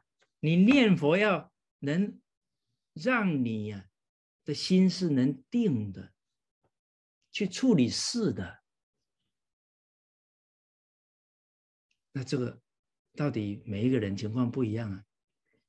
啊，我一天念十五分钟，我这一整天心都是平平静的，那十五分钟可以。好，那假如我念两个小时还是不平静，那你可能还得加一点了。哦，那当然了，这个法没有定法啊，因人而异呀。可能还得处事待人接物啊，也要拿起真诚、清净、平等、正觉、慈悲去做事。那你在做事的时候啊，心上有佛，你用的是真心，所以这个念字啊，精心呢。心上真有佛，哎，用真心去工作、处事、待人接物的人，他一念一念相应一念佛，他马上念，就感觉到佛菩萨加持，身心清安了。无量光寿如来世尊，光明普照十方之界。众生有缘欲施光者，垢灭善身，身意柔软。我们一念佛，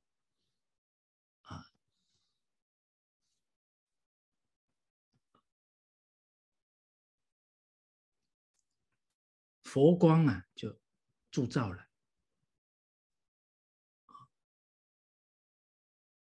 称名即是玉光时啊，珍重此时莫空过啊。这是夏莲居老居士的教诲。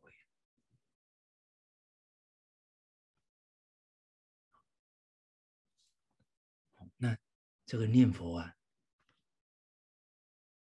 就很有感应了啊！念念一句啊，真的是。甘露灌顶啊！那你有这样的感受了？越念越想念了，欲罢不能了，一有时间就念了。所以我们现在一有时间呢，也不会想念佛啊。那可能我们还是喜欢想东想西呀，啊，得失啊，牵挂的事不少啊，啊。这个都要在每个境界更了解自己的状况，自我勘验了。所以黄念祖老居士有有进一步教导了，啊，是你一天呢不念一万呢，那不算念了。哦，我这句话一讲完，啊，有没有哪一位同修马上啊心口有点压力了？啊，我现在还要写论文呢，是吧？啊，我现在还要考试呢，啊，啊，我现在还有很多工作啊，念一万，依义不依语。啊，那当然了，他老人家是以身作则哈，他老人家往生前几个月一天呢。十几万生哦，他老人家需要吗？他都入境界了，他需要吗？他慈悲啊，他给我们表演呐，为教菩萨做阿舍里呀，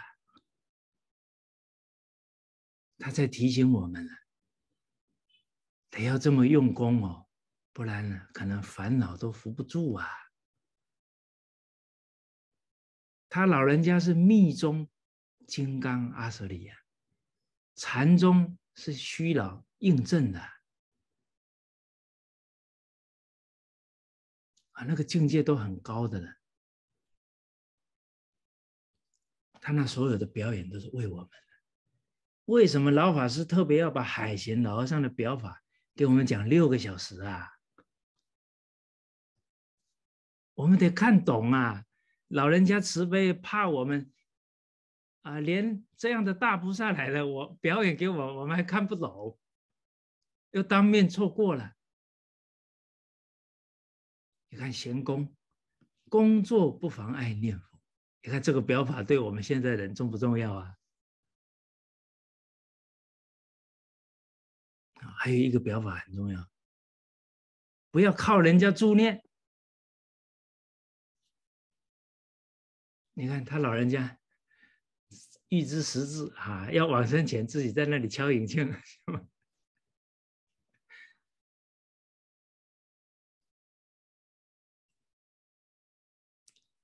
为什么？有时候啊，业力不知道啊，我们怎么知道临终亲戚啊家里人的状况？到时候一把你送医院去了，哇！可不要等到那个送医院了，那险象环生呐！要怎么样？自己知道。啊，我们看美国那时候啊，有一位老太太啊，她的孩子移民到美国去了。你看她往生，都是家里没人在的时候啊，不然到时候一哭就干扰了。啊，他呢，校服都做好了。都帮他缝缝制做好了，自己就作画了。阿弥陀佛接他走了。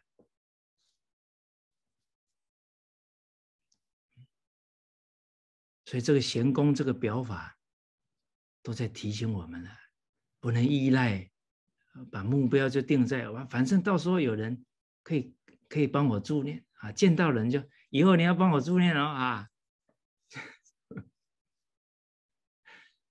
啊，你目标就定在啊，要要人家助念，一不小心没有助念成功怎么办啊？目标要定高远一点啊，这是贤公给我们的榜样了。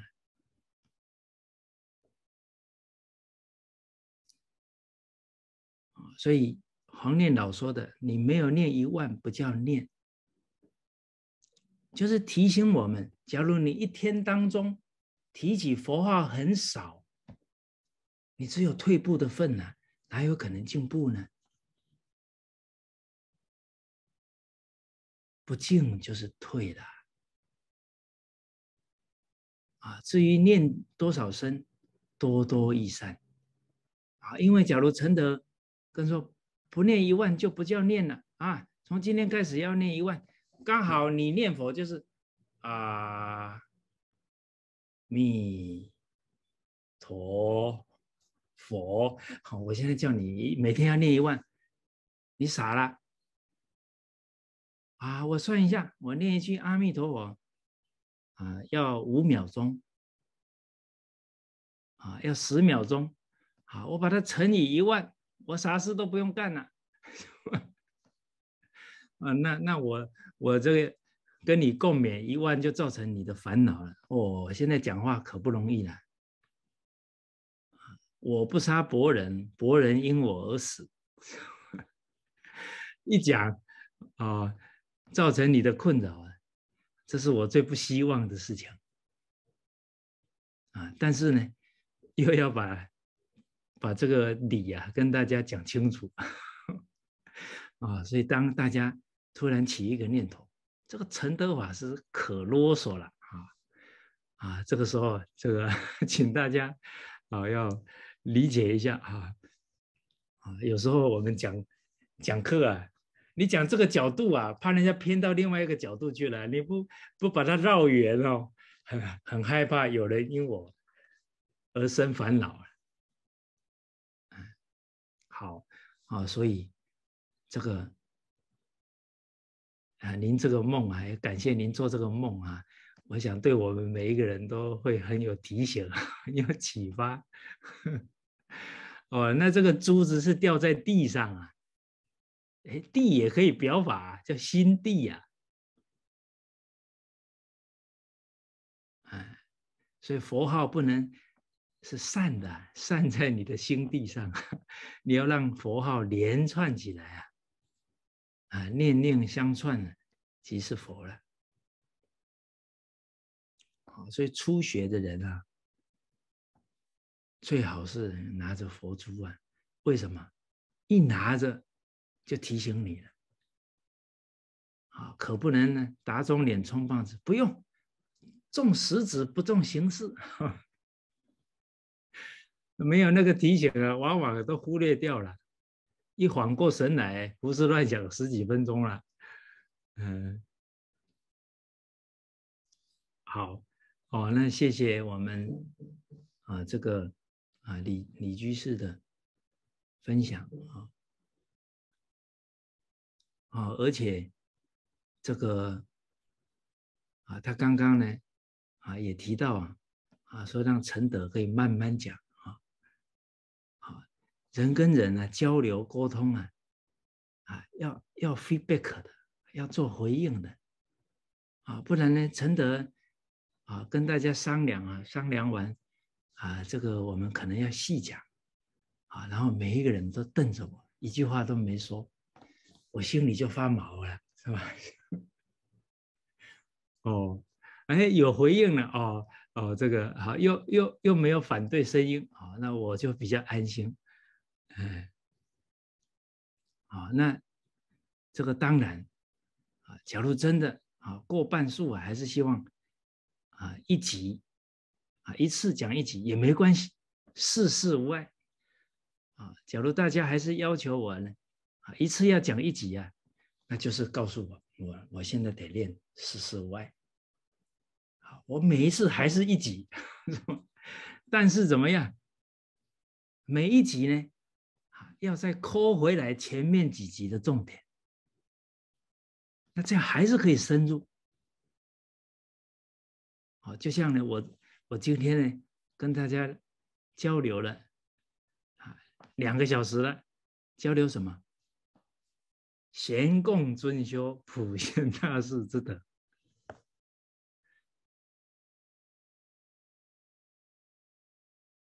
啊，交流了，常随佛学呀，我们要会观察佛陀啊，我们会观察师长啊，他在说什么，他在做什么，我们得会观察海贤老和尚啊，他在给我们表什么法。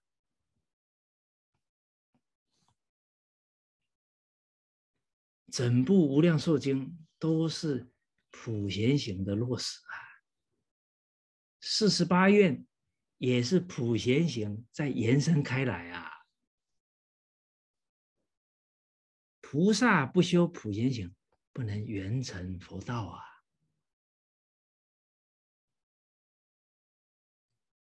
好，这普贤行是菩萨的顶法，我们现在直接学。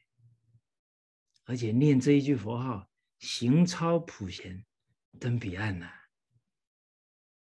真明白了，分秒必争啊！有时间就念了。所以夏老说的，少说一句话，不要去讲世间的闲言闲语，少说一句话，多念一声佛。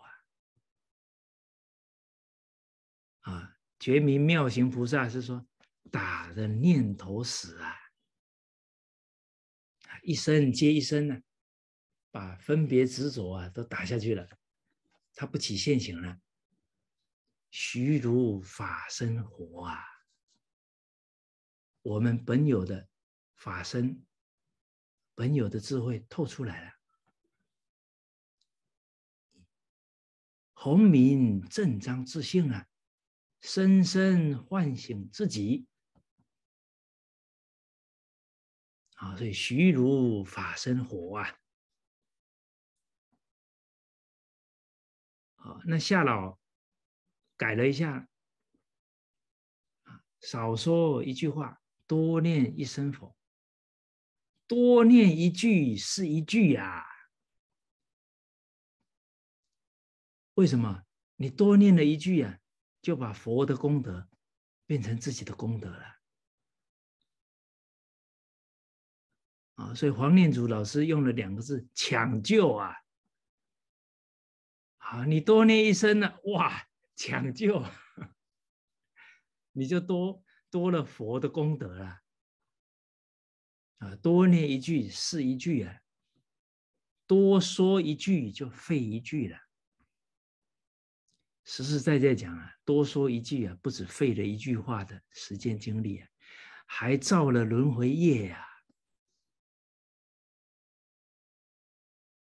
啊所以德尊普呃，这个积功累德第八说到了善护口业，不积以他过啊。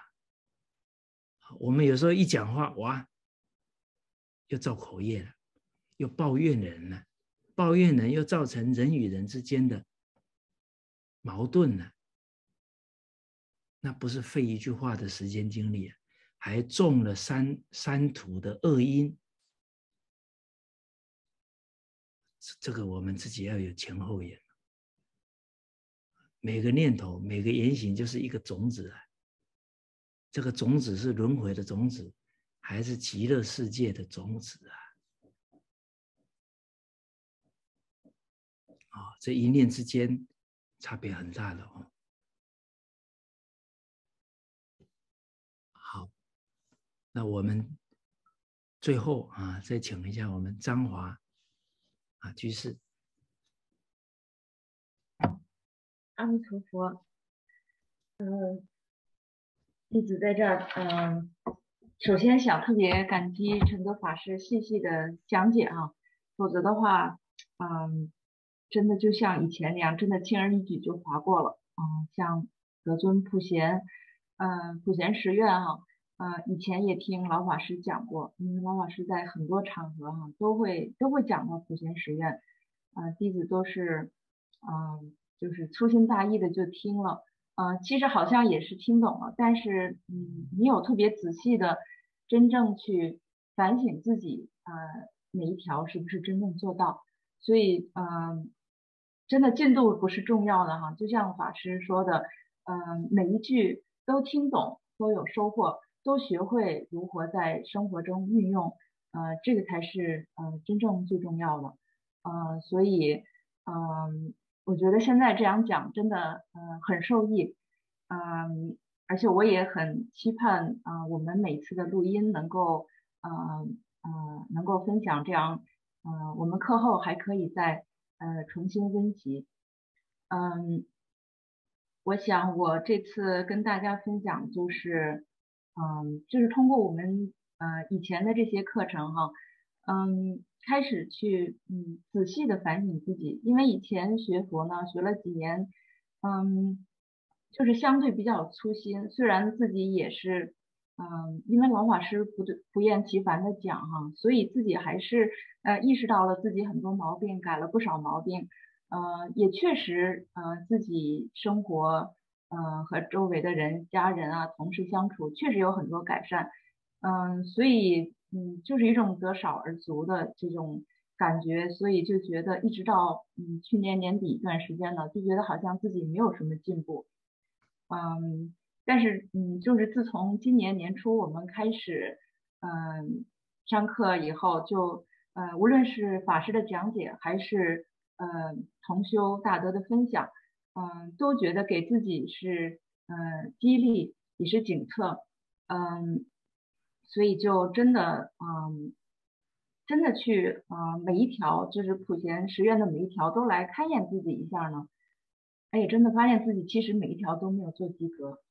嗯，所以就嗯，就在很多生活上的细节哈，去呃注意改进自己，嗯，有很多嗯很多故事，很多感触哈，嗯，我就我就谈一点哈，嗯，要不然就太啰嗦了，嗯，就从从礼敬诸佛呃说起哈，嗯，我就觉得我其实嗯就是表面上对大家也都很很尊敬啊，对周围的家人啊同事哈。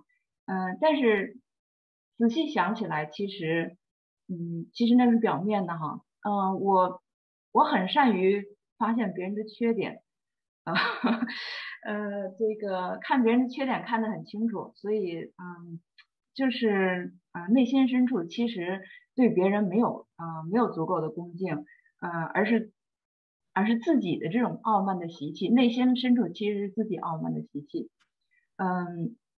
所以就嗯，就是自己努力要对峙哈，嗯，我我有一个同事，我就举这一个例哈，我有一个同事，他呢，嗯，他是一个非常有个性的人，也非常直率，说话非常直率，呃，他很他有批评别人，呃，也批评的时候不顾场合，不给人留情面，而且他也嗯，就是嗯，很直率的陈述他对。嗯，很多事的看法啊，比如说这个 corona，他就觉得政府是限制大家的自由啊，因为这个感冒什么什么的。嗯，就您看我特别 善于发现别人的缺点哈。嗯，但是好在我一直跟他没有太多的这个工作上的合作。嗯，但是从今年二月份开始，呃，这个领导安排这个把他分配到另外一个任务，然后由他以前的任务要由我来接手，那我就嗯必须要跟他学。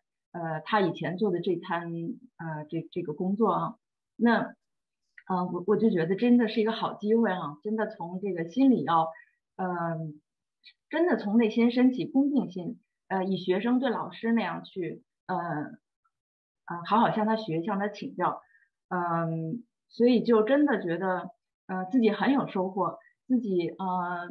他给我讲过一遍，然后我我都要呃做笔记，然后我自己嗯也要去查各种资料，嗯，然后我在有嗯问他问题之前哈，我都自己有很多准备，我都自己查了很多东西，然后我还是不懂，然后我再去问他，或者有的时候我发现他以前做的嗯，工作里面有一些错误，然后我也是，呃，都把东西都呃，就是列的清清楚楚，然后我再呃跟他讲，把我自己呃这个查到的东西再跟他讲，嗯。所以我觉得，就是当你从内心深处真的对人是一种恭敬的态度的时候，那你这个表现啊，你就不自觉的就自然而然就是一种呃理性的表现。然后嗯，就是很出乎我意外啊，就是他对我真的也特别呃耐心的讲解，嗯，那个对我自对我也是呃特别爱护。嗯，也特别帮助我。有的时候需要呃去向其他的部门的人请教，他也呃他认识人很多，所以他就呃帮助我去联系其他部门的同事。呃，他他也向我们领导去反映，对我呃非常 非常赞扬啊。呃，就是这些都是特别出乎我意料。嗯，所以我我真的觉得很受益，就是在工作岗位上其实照样可以修普贤行。这个就是一一个小小的例子啊。嗯，像我以前真的是，嗯，有很多烦恼，就是我看到我们，嗯，有很多同修哈，他们好像工作没有我这么忙哈，所以他们就有每天拿出很多时间能够念佛呀，可以诵经啊，嗯，那我就觉得我除了工作之余就没有这么多时间，就觉得，嗯，很烦恼啊，觉得这些这个工作真的对我是一个拖累，呃，不能不能修不能学佛，嗯。其实就是，嗯，现在就是意识到哈，真正其实，呃，学懂了以后，呃，工作也是学佛，生活也是学佛，关键在你会不会用心，呃，会不会学，嗯，所以，嗯，今年我们开这个课，真的给我有一种新年新气象的感觉哈，呃，所以我特别感恩学会，呃，特别感恩法师，特别感恩同修大德，呃，每次上课对我都是。激励和呃警策，真正学到呃如何去运用，如何去改自己的毛病，呃改自己的习气，嗯，就是我啰里啰嗦说的太多了哈，这个呃感恩大师，感恩大家，感恩法师，阿弥陀佛。啊，谢谢啊张张居士哈，啊我们听了也是呃特别受用啊。啊，也能体会到啊，普贤行啊，在工作上的运用。啊，所以老法师说，佛法就是生活，就是工作，啊，就是处事待人接物，而且心念真的很重要啊。医报随着正报转。啊，我们假如是见他的过啊，那这个缘就没有那么好，可能双方都生烦恼。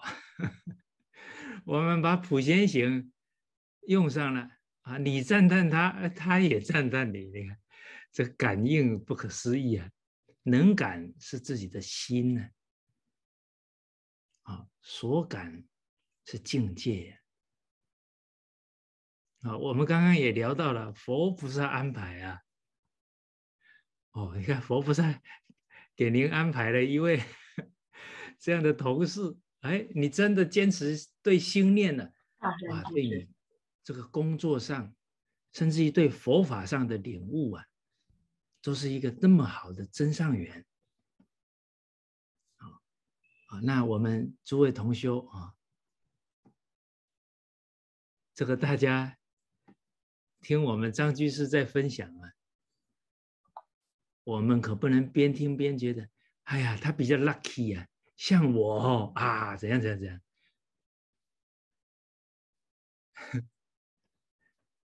那这个不止听了不受益啊，还生比较啊，还生烦恼哦。好，刚刚我已经跟大家有提过一点，诚德观察佛菩萨的同体大悲在哪里？在每一个人身上，你说现在这个人这么惨，怎么会在他身上呢？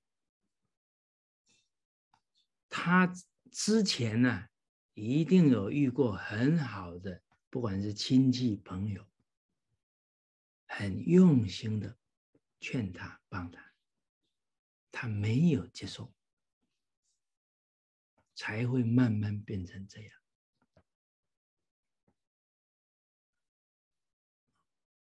所以看事情啊，不能看眼前这个现象，要看来龙去脉，要看一个立体的，你才能把因缘看清楚、看客观，不然很容易啊，那下判断就变成了见识烦恼了，把因因从因推果推错了，从果推因推错了。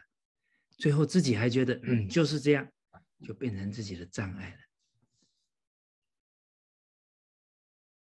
啊，你真正推推论推论，觉得很相信的哈，跟有道心的同参道友啊，依老法师的教诲啊，探讨探讨。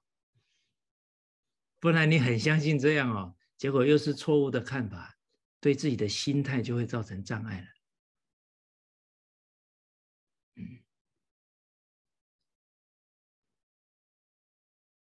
那当然哈，啊，我们会接触那么多的人事，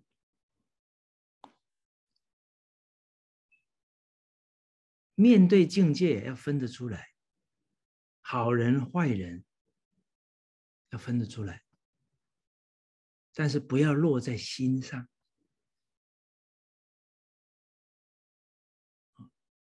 用心像镜子，照得清清楚楚。你好坏都不知道了，他不不妥的地方，你还赞叹他；或者不妥的地方，你还学他，那不行啊。清清楚楚，但是心不落印象啊，要练，不要落印象啊。平常呢，绝对不会去想人家的不好。但是你真正在思考事情的时候，你是很清楚这个人的状况的，不然你会用错人啊，你会安排错事的。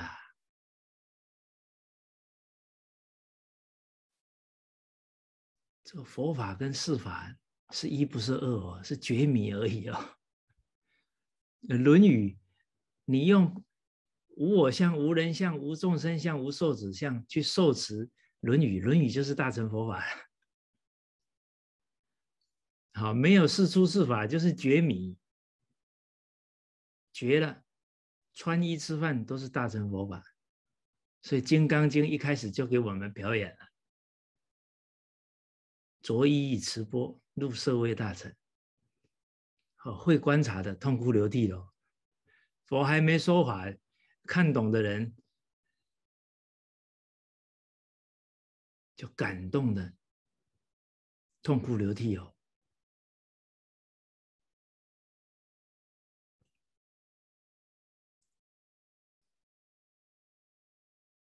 所以真的善观察啊！为什么进修节要一心观理？这个“观”字啊，为什么第二拜一心观理？极乐教主。极乐教主怎么修的？我们要会观察。积功累德，第八就是观察。阿弥陀佛怎么修啊？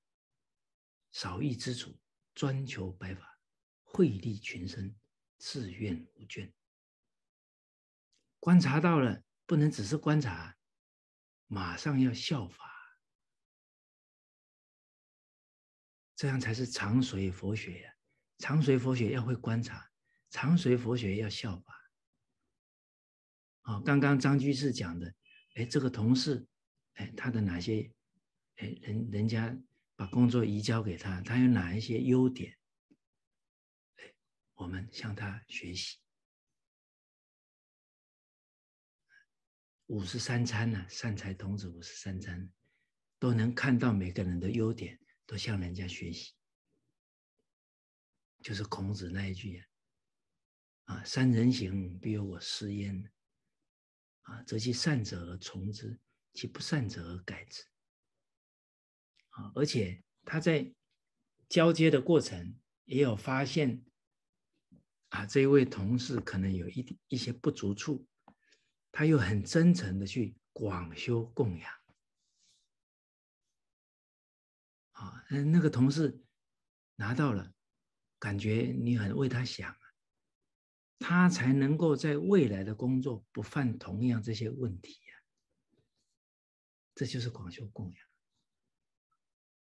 好，你看人家对方还还去领导那边赞叹你，哦，然后你也赞叹他，啊，你们都是普贤菩萨，哎，会交感哦，你真的是普贤行啊。你可以把对方跟普贤行相应的善根给调出来哦。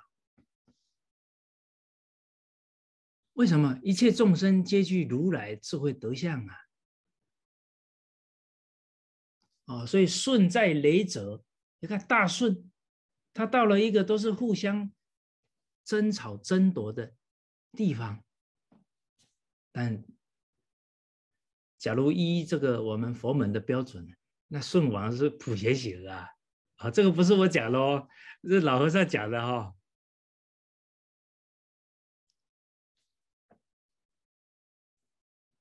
啊，他他为什么能够这个把整个村的人完全风气转过来？因为他真的礼敬诸佛，啊，他看到大家。都争夺啊！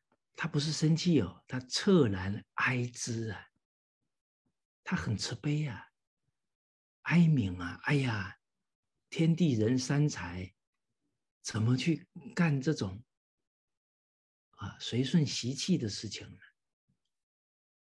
怎么干这种损人损己的事情啊？恻然哀之啊！你们都可以成圣人的。啊然后去做他们的真上缘，见人家做错了，不去扬他的恶，啊，见人人家有让了，啊，赶紧赞叹这些人，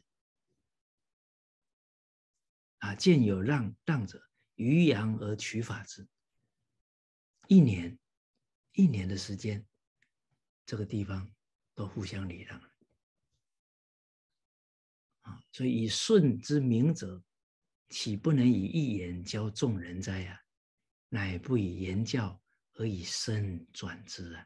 此良功苦行也啊！你看《了凡四训》跟舜王啊神交了有没有？神交古人啊，他看懂舜王在表演什么？舜王有那个威德啊！他一讲话，人家会听啊。后世的人不一定有他的威德，所以好多佛菩萨、古圣先贤，我们的祖师，他所说所做啊，都是为我们啊。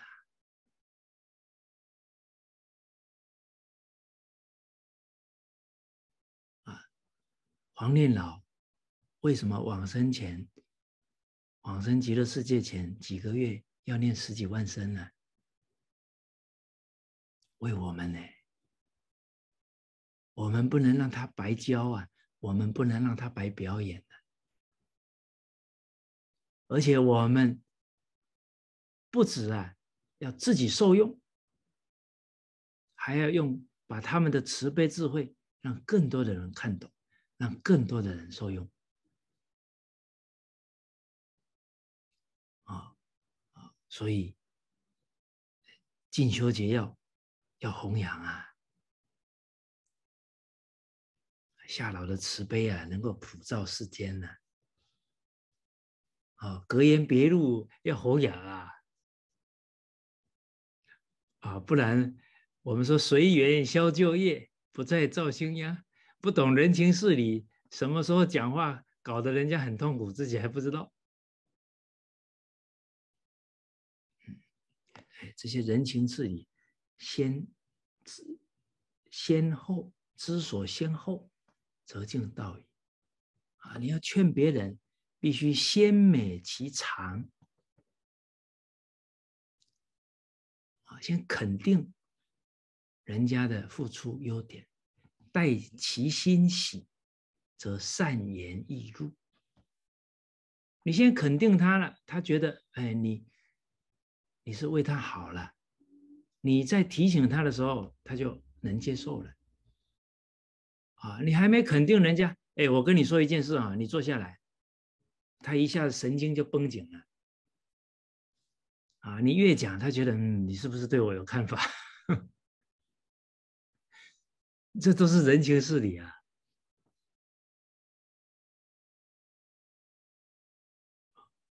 所以我们真的是太幸运了，那么多祖师啊，都是为了自己的成就啊，留下了这么多法语啊。啊，我们神州大地还有四大名山呢，你看，菩萨都常住在我们的国度啊。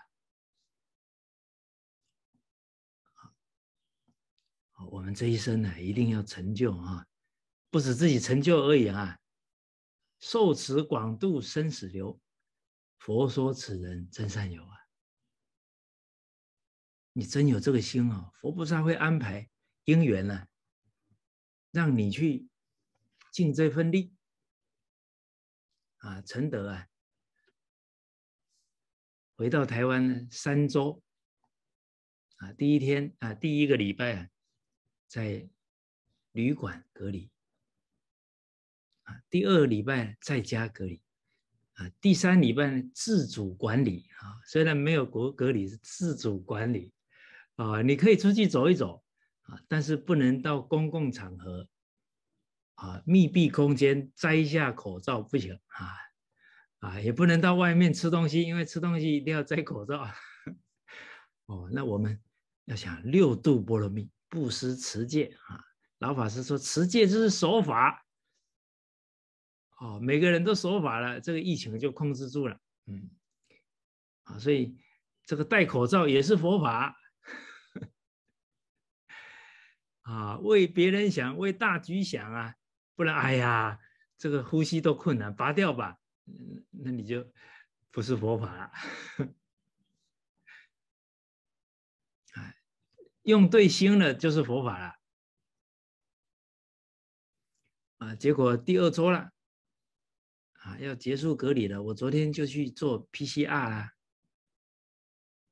啊，结果一上车，啊，一坐下来，我就给那个司机阿弥陀佛，啊，那个司机说：“哎，我也是念阿弥陀佛的啊。”哦，结果我就这样一路跟他讲，他还没有念过无量寿经，我就把无量寿经介绍给他，啊，他说。哎，我念《金刚经》啊，我说念《金刚经》是对的啊，净土啊，这个般若为导啊，啊，我就把藕益大师的净色名介绍给他了，啊，这四点是修行的重点啊，啊，般若为导，五度如盲啊，你不能盲修瞎练呐，啊，要修清净心呐，不能着相啊。诸恶莫作，众善奉行，还要自净其意呀！啊，所以要用般若啊，不能着相啊！啊，凡所有相，皆是虚妄啊！这个都是般诸法实相在提醒我们啊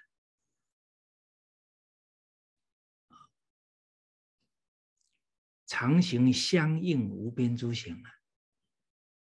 我们遇到境界啊，我们的念头啊，啊，要跟般若智慧相应了。你见见到一切境缘，照见五蕴皆空，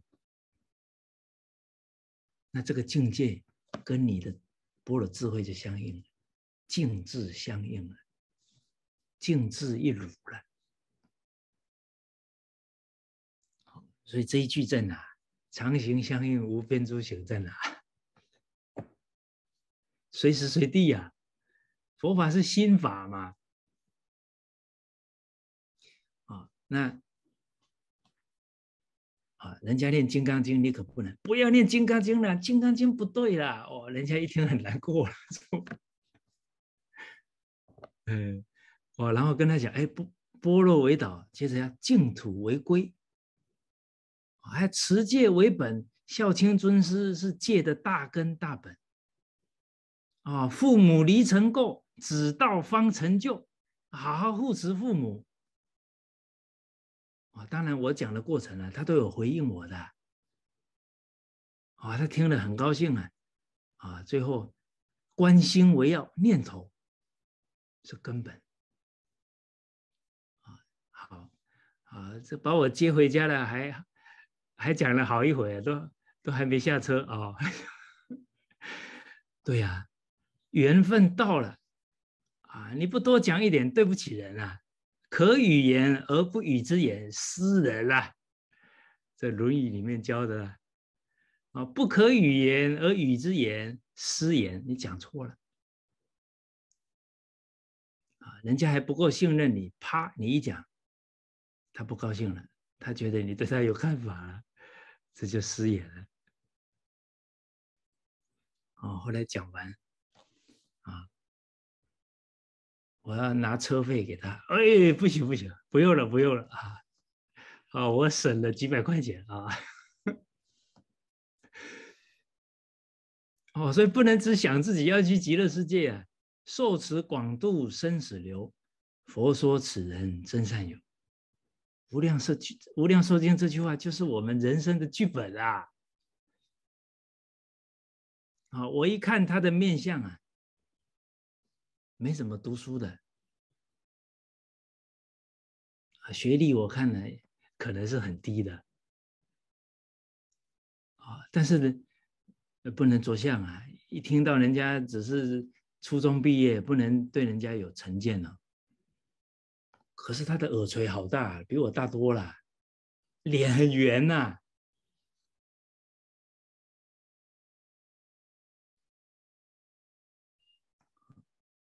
所以这个不能，这众生善根不可思议啊！哦，不能轻视任何一个众生呢，啊，都在预言不同。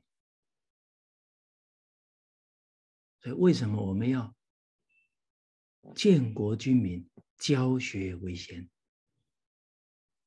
因为佛法无人说，虽智莫能解。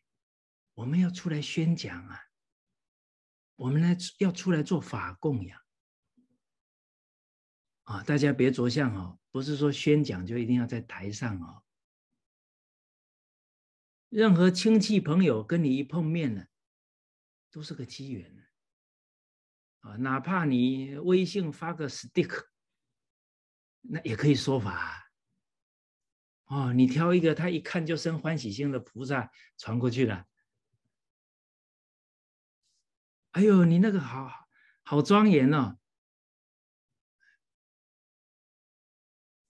都在给他成熟菩萨无边善根呐。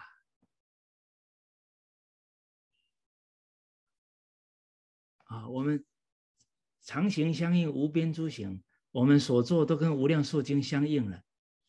你每一句话，你每一个行为，都在成熟菩萨无边善根。你的身教、你的言教，都是他的真上缘。那我们就转《无量寿经》了，为自己的生活、工作、处事待人接物了。好，所以。我们这个愿心不退哦，啊，连出门啊坐车啊都有佛菩萨安排。哦，我们给阿弥陀佛做小工哈，配合阿弥陀佛度众生，接引到极乐世界去。嗯，好，哦，这个今天这个时间到了啊，哦，就跟大家交流到这里啊，谢谢大家。阿弥陀佛。